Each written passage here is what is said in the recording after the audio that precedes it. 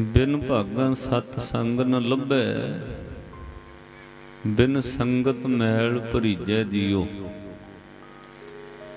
ਇਹ ਤੁਹਾਡਾ ਤਜਰਬਾ ਰਹੇਗਾ ਸਾਧ ਸੰਗਤ। ਜੇ ਭਾਗਾਂ ਵਿੱਚ ਹੋਵੇ ਅਕਾਲ ਪੁਰਖ ਵਾਹਿਗੁਰੂ ਜੀ ਦੀ ਨਦਰ ਬਖਸ਼ਿਸ਼ ਹੋਵੇ, ਤਾਂ ਕੋਈ ਦੂਰ ਦਰੇਡੇ ਤੋਂ 10 20 50 ਕਿਲੋਮੀਟਰ ਤੋਂ ਚੱਲ ਕੇ ਵੀ ਸਤ ਸੰਗਤ ਵਿੱਚ ਆ ਸਕਦਾ। ਜੇ ਭਾਗਾਂ ਵਿੱਚ ਨਾ ਹੋਵੇ, ਤਾਂ ਮਾਫ ਕਰਿਓ, ਭਾਵੇਂ ਗੁਰਦੁਆਰੇ ਦੇ ਨਾਲ ਰਹਿਸ਼ੀ ਕੰਧ ਸਾਂਝੀ ਹੋਵੇ, ਉੱਠ ਕੇ ਮੱਥਾ ਟੇਕਣ ਦਾ ਹੁਕਮ ਨਹੀਂ ਉਹ ਬੰਦੇ ਨੂੰ, ਵੀ ਕੋਲੋਂ ਉੱਠ ਕੇ ਮੱਥਾ ਟੇਕ। ਬਹੁਤ ਬੰਦੇ ਐਸੇ ਹੋਣਗੇ ਜਿਨ੍ਹਾਂ ਦਾ ਰੋਜ਼ ਸਤਿਗੁਰ ਨੇ ਨੇਮ ਬਣਾਇਆ ਉਹ ਪਿੰਡ ਦੇ ਦੂਜੇ ਪਾਸਿਓਂ ਚੱਲ ਕੇ ਵੀ ਆ ਕੇ ਗੁਰਦੁਆਰੇ ਦਰਸ਼ਨ ਕਰਨਗੇ। ਤੇ ਬਹੁਤ ਐਸੇ ਤੁਹਾਨੂੰ ਮਿਲਣਗੇ ਜਿਹੜੇ ਬਿਲਕੁਲ ਗੁਰਦੁਆਰੇ ਦੇ ਨਾਲ ਰਹਿੰਦੇ ਨੇ। ਪਰ ਅੰਦਰ ਦਰਸ਼ਨ ਕਰਨ ਦਾ ਹੁਕਮ ਹੀ ਨਹੀਂ ਹੈ। ਉਹਨਾਂ ਦਾ ਦੋਸ਼ ਨਾ ਕਹੀਏ, ਆਪਾਂ ਇਹ ਸਮਝੀਏ ਵੀ ਸਤਿਗੁਰ ਦੀ ਕਿਰਪਾ ਨਜ਼ਰ ਨਹੀਂ ਹੈ। ਇੱਕ ਸੱਜਣ ਮੈਨੂੰ ਸ਼੍ਰੀ ਅੰਮ੍ਰਿਤਸਰ ਸਾਹਿਬ ਮਿਲੇ। ਮੈਂ ਕਈ ਵਾਰ ਕਥਾ ਵਿੱਚ ਇਸ ਗੱਲ ਦਾ ਜ਼ਿਕਰ ਕੀਤਾ ਹੈ। ਮੈਂ ਉਹਨਾਂ ਨੂੰ ਕਿਹਾ ਵੀ ਤੁਹਾਡੇ ਤੋਂ ਬਹੁਤ ਵੱਡੇ ਭਾਗ ਆ ਗੁਰਮਖੋ। ਤੁਸੀਂ ਸਤਿਗੁਰੂ ਗੁਰੂ ਰਾਮਦਾਸ ਮਹਾਰਾਜ ਜੀ ਦੀ ਪਵਿੱਤਰ ਨਗਰੀ ਵਿੱਚ ਰਹਿੰਦੇ ਹੋ। ਉਸ ਨਗਰ ਵਿੱਚ, ਉਸ ਧਰਤੀ ਉੱਤੇ, ਜਿਸ ਸਥਾਨ ਦੇ, ਜਿਸ ਸ਼ਹਿਰ ਦੇ, ਜਿਸ ਧਰਤੀ ਦੇ ਦਰਸ਼ਨ ਕਰਨ ਵਾਸਤੇ ਸਮੁੱਚੇ ਸੰਸਾਰ ਵਰਲਡ ਦੇ ਅੰਦਰ ਜਿੱਥੇ-ਜਿੱਥੇ ਸਿੱਖ ਬੈਠੇ ਨੇ, ਜਦੋਂ ਵੀ ਅਰਦਾਸ ਕਿਸੇ ਵੀ ਦੁਨੀਆ ਦੇ ਦੇਸ਼ ਦੇ ਕੋਨੇ ਵਿੱਚ ਹੋਏਗੀ, ਤਾਂ ਸੰਸਾਰ ਦੇ ਕੋਨੇ-ਕੋਨੇ ਵਿੱਚ ਜਿੱਥੇ ਸਿੱਖ ਨੇ ਜਦੋਂ ਉਹ ਅਰਦਾਸ ਕਰਦਾ ਉਹਦੀ ਅਰਦਾਸ ਵਿੱਚ ਇਹ ਸ਼ਬਦ ਸ਼ਾਮਲ ਨੇ ਕਿ ਸ੍ਰੀ ਅੰਮ੍ਰਿਤਸਰ ਸਾਹਿਬ ਜੀ ਦੇ ਦਰਸ਼ਨ ਇਸ਼ਨਾਨ ਹਰ ਸਿੱਖ ਮੰਗਦਾ। ਤੁਹਾਡੇ ਤਾਂ ਵੱਡੇ ਭਾਗ, ਲੋਕ ਟਿਕਟਾਂ ਖਰਚ ਕੇ ਲੱਖ ਲੱਖ ਰੁਪਈਆ ਲਾ ਕੇ ਦਰਸ਼ਨ ਕਰਨ ਆਉਂਦੇ ਨੇ ਦਰਬਾਰ ਸਾਹਿਬ। ਤੁਸੀਂ ਕੋਲ ਰਹਿੰਦੇ ਹੋ, ਰੋਜ਼ ਦਰਸ਼ਨ ਕਰਦੇ ਹੋਵੋਗੇ। ਹਰ ਰੋਜ਼ ਉਹ ਸਰੋਵਰ ਵਿੱਚ ਇਸ਼ਨਾਨ। ਜੇ ਰੋਜ਼ ਨਹੀਂ ਤਾਂ ਚਲੋ ਇੱਕ ਅੱਧਾ ਦਿਨ ਵਿੱਚ ਛੱਡ ਕੇ ਜਾਂਦੇ ਹੋਵੋਗੇ। ਤਾਂ ਉਹ ਸਿੱਖ ਨੇ ਇਮਾਨਦਾਰੀ ਨਾਲ ਉਹ ਸਰਦਾਰ ਨੇ ਗੱਲ ਕਹੀ ਥੋੜਾ ਉਦਾਸ ਹੋ ਕੇ ਬੋਲਿਆ, ਕਹਿੰਦਾ, ਭਾਈ ਸਾਹਿਬ ਜੀ, ਇੰਨੇ ਵੱਡੇ ਭਾਗ ਕਿੱਥੇ? ਨਾਲੇ ਅੱਖਾਂ ਭਰ ਲਈਆਂ ਉਹਨੇ। ਕਹਿੰਦਾ, ਸਚਾਈ ਇਹ ਹੈ ਭਾਈ ਸਾਹਿਬ ਜੀ, ਮੈਨੂੰ 6 ਮਹੀਨੇ ਹੋ ਚੱਲੇ ਦਰਬਾਰ ਸਾਹਿਬ ਦਰਸ਼ਨ ਕਰਨੀ ਨਹੀਂ ਗਿਆ 6 ਮਹੀਨੇ ਹੋ ਚੱਲੇ। ਰਹਿੰਦਾ ਸ੍ਰੀ ਅੰਮ੍ਰਿਤਸਰ ਸਾਹਿਬ ਵਿੱਚ। ਗੁਰੂ ਦੀ ਨਗਰੀ ਵਿੱਚ ਰਹਿੰਦੇ ਨੇ 6 ਮਹੀਨੇ ਹੋ ਗਏ ਦਰਸ਼ਨ ਦਰਸ਼ਨ ਨਸੀਬ ਨਹੀਂ ਹੋਏ, ਭਾਗਾਂ ਵਿੱਚ ਹੀ ਨਹੀਂ ਮਹਾਰਾਜ ਨੇ ਬਾਣੀ ਅੰਦਰ ਬਚਨ ਕਹੇ, ਦੋਸ਼ ਨਾ ਪੰਦਈ ਉਹਨਾਂ ਬੰਦਿਆਂ ਨੂੰ। ਇਹ ਕੋਈ ਕਟਾਕਸ਼ ਜਾਂ ਦੋਸ਼ ਨਹੀਂ ਹੈ ਉਹਨਾਂ ਤੇ। ਸਤਿਗੁਰਾਂ ਦਾ ਬਚਨ ਕਹਿ ਦਿੱਤੇ, ਓਏ ਵਿਚਾਰੇ ਕਿਆ ਕਰੇ? ਜਾਂ ਭਾਗ ਤੁਰ ਮੰਦੇ? ਜਦੋਂ ਤੁਰੋਂ ਹੀ ਭਾਗਾਂ ਵਿੱਚ ਨਹੀਂ ਲਿਖਿਆ।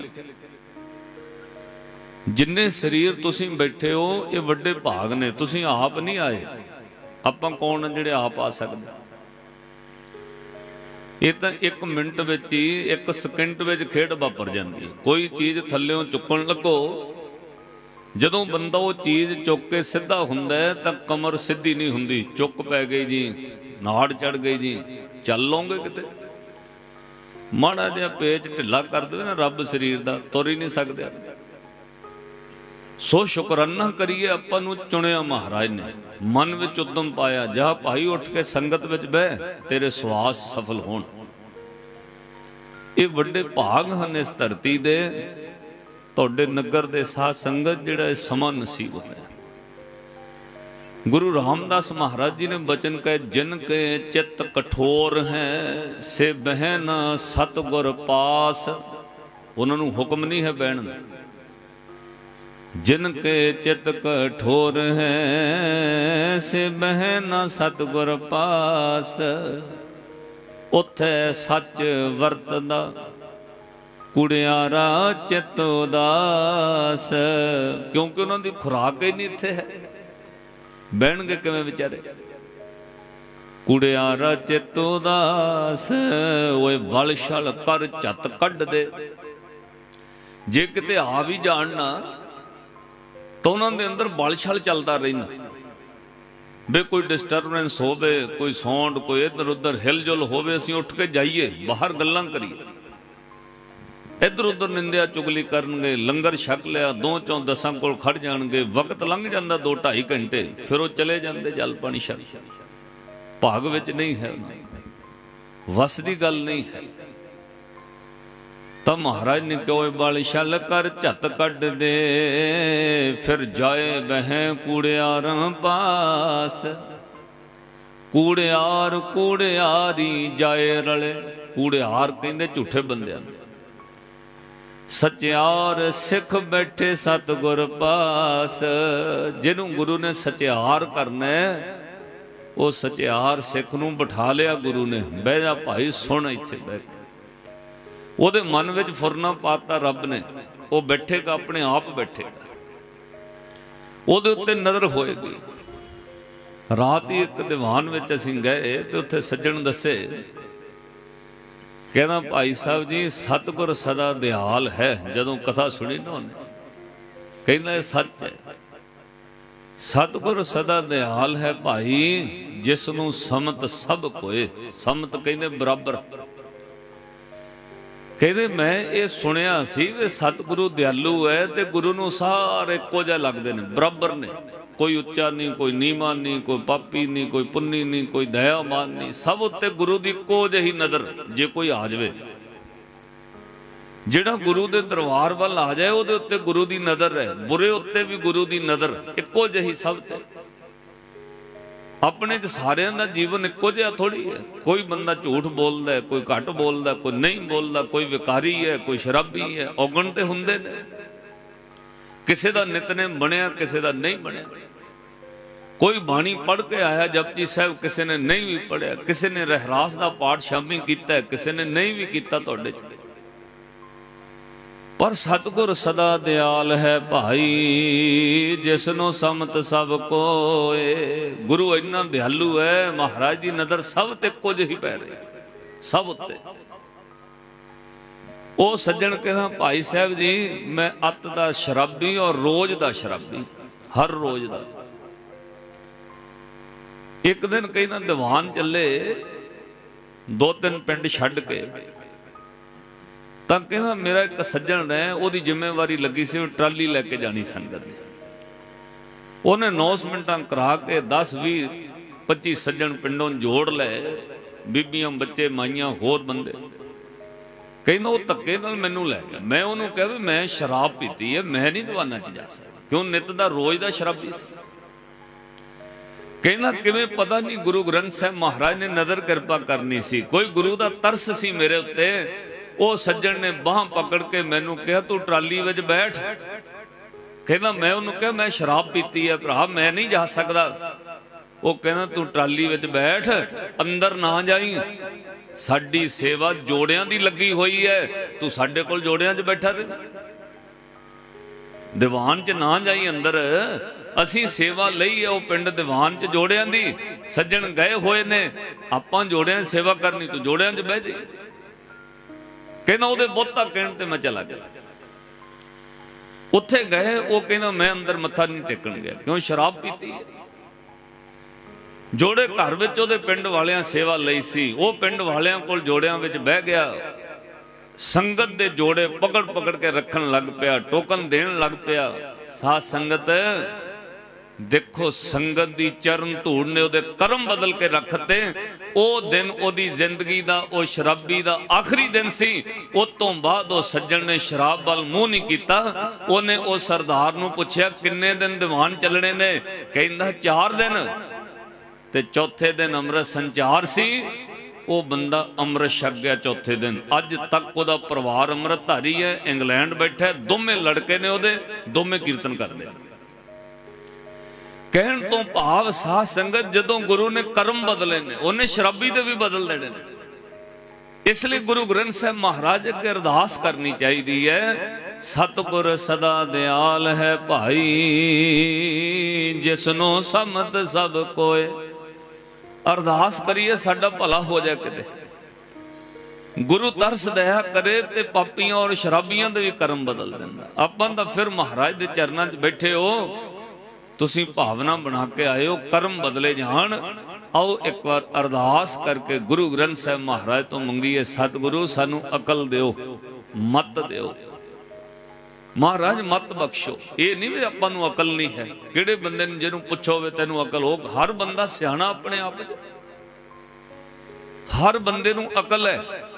ਪਰ ਇਹ ਅਕਲ ਗੁਰੂ ਦੇ ਘਰ ਵਿੱਚ ਪ੍ਰਵਾਨ ਨਹੀਂ। ਇਹ ਗੁਰੂ ਗ੍ਰੰਥ ਸਾਹਿਬ ਮਹਾਰਾਜ ਨੂੰ ਇਹ ਅਕਲ ਪ੍ਰਵਾਨ ਨਹੀਂ।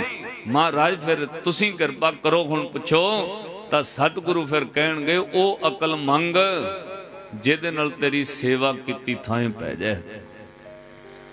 ਉਹ ਅਕਲ ਗੁਰੂ ਕੋਲੋਂ ਮਤ ਮੰਗ, ਜਿਹਦੇ ਨਾਲ ਦਾਨ ਦਿੱਤਾ ਥਾਂ ਪੈ ਜਾਏ। ਨਹੀਂ ਤੇ ਕਈ ਕਈ ਸਾਲ ਦਾਨ ਕਰੀ ਜੋ ਲਿਖਿਆ ਨਹੀਂ ਜਾਂਦਾ ਗੁਰੂ ਕੋਲ।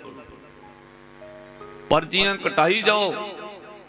ਪ੍ਰਬੰਧਕਾਂ ਦੀਆਂ ਡੈਰੀਆਂ ਪਰਚੀਆਂ ਵਿੱਚ ਰਹਿ ਜਾਣਗੀਆਂ ਰਸੀਦ ਬੁੱਕਾਂ 'ਚ। ਜੇ ਚਾਹੁੰਦੇ ਹੋ ਤੁਹਾਡਾ ਦਾਨ ਦਿੱਤਾ ਗੁਰੂ ਨਾਨਕ ਦੇ ਘਰ ਲਿਖਿਆ ਜਾਏ, ਫਿਰ ਗੁਰੂ ਕੋਲੋਂ ਅਕਲ ਮੰਗਣੀ ਪੈਂਦੀ ਹੈ। ਤਾਂ ਮਹਾਰਾਜ ਨੇ ਕਿਹਾ, ਅਕਲ ਮੰਗ। ਅਕਲ ਨਾਲ ਕੀਤਾ ਦਾਨ ਪ੍ਰਵਾਨ ਹੈ। ਅਕਲੀ ਸਾਹਿਬ ਸੇਬੀਐ ਗੁਰੂ ਨੂੰ ਸਿਮਰਨਾ ਅਕਲ ਨਾਲ ਸਿਮਰ। ਅਕਲੀ ਸਾਹਿਬ ਸੇਵੀਐ, ਅਕਲੀ ਪਾਈਐ ਮਾਣ। ਅਕਲੀ ਪੜ ਕੇ 부ਜੀਐ ਅਕਲੀ ਕੀਚੈ ਦਾਨ। ਮਹਾਰਾਜੋ, ਅਕਲ ਫਿਰ ਕਿਹੜੀ ਹੈ ਹਜ਼ੂਰ ਨੇ ਕਿਹਾ, ਤੇਰੇ ਅੰਦਰ ਅਹੰਕਾਰ ਨਾ ਰਵੇ, ਵਿਕਾਰ ਨਾ ਰਵੇ, ਈਰਖਾ ਨਾ ਰਵੇ। ਗੁਰੂ ਕੋਲੋਂ ਹੱਥ ਜੋੜ ਕੇ ਮੰਗ ਤੇ ਕਹਿ, ਸਤਿਗੁਰੂ ਮੈਨੂੰ ਅਕਲ ਦਿਓ। ਗੁਰਾ ਤੁਸੀਂ ਜਪਜੀ ਸਾਹਿਬ ਚ ਕਹਿੰਦੇ ਹੋ ਦੋ ਵਾਰ। हे ਸਤਿਗੁਰੂ, ਗੁਰਾ ਇੱਕ ਦੇਹ 부ਝਾਈ 부ਝਾਈ ਦਾ ਅਰਥ ਅਕਲ, ਮਤ। ਕਹੋ ਸਾਰੇ ਇੱਕ ਵਾਰ, ਗੁਰਾ ਇੱਕ ਦੇ 부ਝਾਈ ਸਭਨਾ ਜੀਆਂ ਕਾ ਇੱਕ ਦਾਤਾ, ਸੋ ਮੈਂ ਵਿਸਰ ਨਾ ਜਾਈ। ਅਖੋ ਸਭਨਾ ਜੀਆਂ ਕਾ ਇੱਕ। ਸੋ ਮੈਂ ਵਿਸਰਨ, ਫਿਰ ਅਖੋ ਸਭਨਾ ਜੀਆਂ ਕਾ ਇੱਕ। ਸੋ ਮੈਂ ਵਿਸਰਨ, ਹੁਣ ਸਾਰੇ ਮੰਗਿਓ ਅੱਖਾਂ ਬੰਦ ਕਰਕੇ। ਗੁਰੂ ਗ੍ਰੰਥ ਸਾਹਿਬ ਮਹਾਰਾਜ ਜੀ ਨੂੰ ਪ੍ਰਗਟ ਗੁਰਾਂ ਦੀ ਦੇਹ ਮੰਨ ਕੇ, ਕਿਉਂਕਿ ਮਹਾਰਾਜ ਸਾਰਿਆਂ ਤੇ ਦ੍ਰਿਸ਼ਟੀ ਪਾ ਰਹੇ ਗੁਰੂ ਗ੍ਰੰਥ ਸਾਹਿਬ ਮਹਾਰਾਜ ਜੀ ਤੋਂ ਧਿਆਨ ਧਰ ਕੇ ਨੇਤਰ ਮੁੰਦ ਕੇ ਮੰਗਿਓ ਅੰਦਰੋਂ ਦਿਲੋਂ। ਕਹੋ ਮਹਾਰਾਜ, ਕਿਰਪਾ ਕਰੋ। ਗੁਰਾ ਇੱਕ ਦੇ 부ਝਾਈ ਸਭਨਾ ਜੀਆਂ ਕਾ ਇੱਕ ਦਾਤਾ। ਸੋ ਮੈਂ ਵਿਸਰ ਨਾ ਜਾਈ। ਸਾਰੇ ਅੱਖੋ ਸੋ ਮੈਂ ਵਿਸਰ ਨਾ ਜਾਈ ਸਭਨਾ ਜੀਆਂ ਕਾ ਇੱਕ ਦਾਤਾ। ਸੋ ਮੈਂ ਵਿਸਰ ਨਾ ਜਾਈ ਸਭਨਾ ਜੀਆਂ ਕਾ ਇੱਕ ਦਾਤਾ। ਸੋ ਮੈਂ ਵਿਸਰ ਨਾ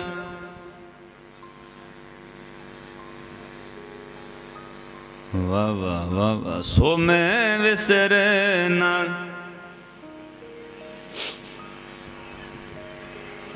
ਸਭਨਾ ਜੀਆਂ ਕਾ ਇੱਕ ਦਾਤਾ, ਸਭਨਾ ਜੀਆਂ ਕਾ ਇੱਕ ਦਾਤਾ, ਸਭਨਾ ਜੀਆਂ ਸਭਨਾ ਜੀਆਂ ਸੋ ਮੈਂ ਵਿਸਰ ਨਾ ਜਾਈ ਸਭਨਾ ਜੀਆਂ ਕਾ ਇੱਕ ਦਾਤਾ। ਸੋ ਮੈਂ ਵਿਸਰ ਨਾ ਜਾਈ ਸਭਨਾ ਜੀਆਂ ਕਾ ਇੱਕ ਦਾਤਾ। ਸੋ ਮੈਂ ਵਿਸਰ ਨਾ ਜੀਆਂ ਕਾ ਵਾਹਿਗੁਰੂ, ਸੋ ਮੈਂ ਵਿਸਰ ਸਭਨਾ ਜੀਆਂ। ਇਹ ਗੁਰੂ ਗ੍ਰੰਥ ਸਾਹਿਬ ਮਹਾਰਾਜ ਜੀ ਤੋਂ ਦਾਤ ਮੰਗਣੀ, ਕਿਉਂਕਿ ਇਹਨੂੰ ਮਹਾਰਾਜ ਜੀ ਨੇ ਕਿਹਾ, ਸੱਚੀ ਮੰਗ ਜਿਹੜੀ ਤੂੰ ਗੁਰੂ ਤੋਂ ਮੰਗ ਰਿਹਾ ਬਾਕੀ ਜੋ ਆਪਾਂ ਮੰਗ ਰਹੇ ਨੇ, ਉਹ ਝੂਠਾ ਹੈ। ਇਸੇ ਗੱਲ ਨੂੰ ਮਹਾਰਾਜ ਬਾਣੀ ਅੰਦਰ ਕਹਿਣਗੇ, ਮੰਗਣਾ ਤਾਂ ਸੱਚ ਇੱਕ, ਜੇ ਮੰਗਣਾ ਤਾਂ ਆ ਮੰਗ ਤੂੰ। ਜਿਸ ਤੁਸ ਦੇਵੈ ਆਪ, ਇਹ ਦਾਤ ਗੁਰੂ ਬਹੁਤ ਖੁਸ਼ ਹੋ ਕੇ ਦਿੰਦਾ ਸਿੱਖ ਜੇ ਕੋਈ ਮੰਗੇ, ਮੰਗਣਾ ਤਾਂ ਸੱਚ ਇੱਕ, ਜਿਸ ਤੁਸ ਦੇਵੈ ਆਪ, ਮਹਾਰਾਜ ਜੀ, ਜਿਹੜਾ ਆਪਾਂ ਵਾਕੀ ਮੰਗ ਰਹੇ ਆ ਪੁੱਤਾਂ, ਧੀਆਂ, ਸੁਖ, ਪਰਿਵਾਰ, ਕਾਰੋਬਾਰ, ਇਹ ਹੈ, ਇਹ ਵੀ ਦਾਤ।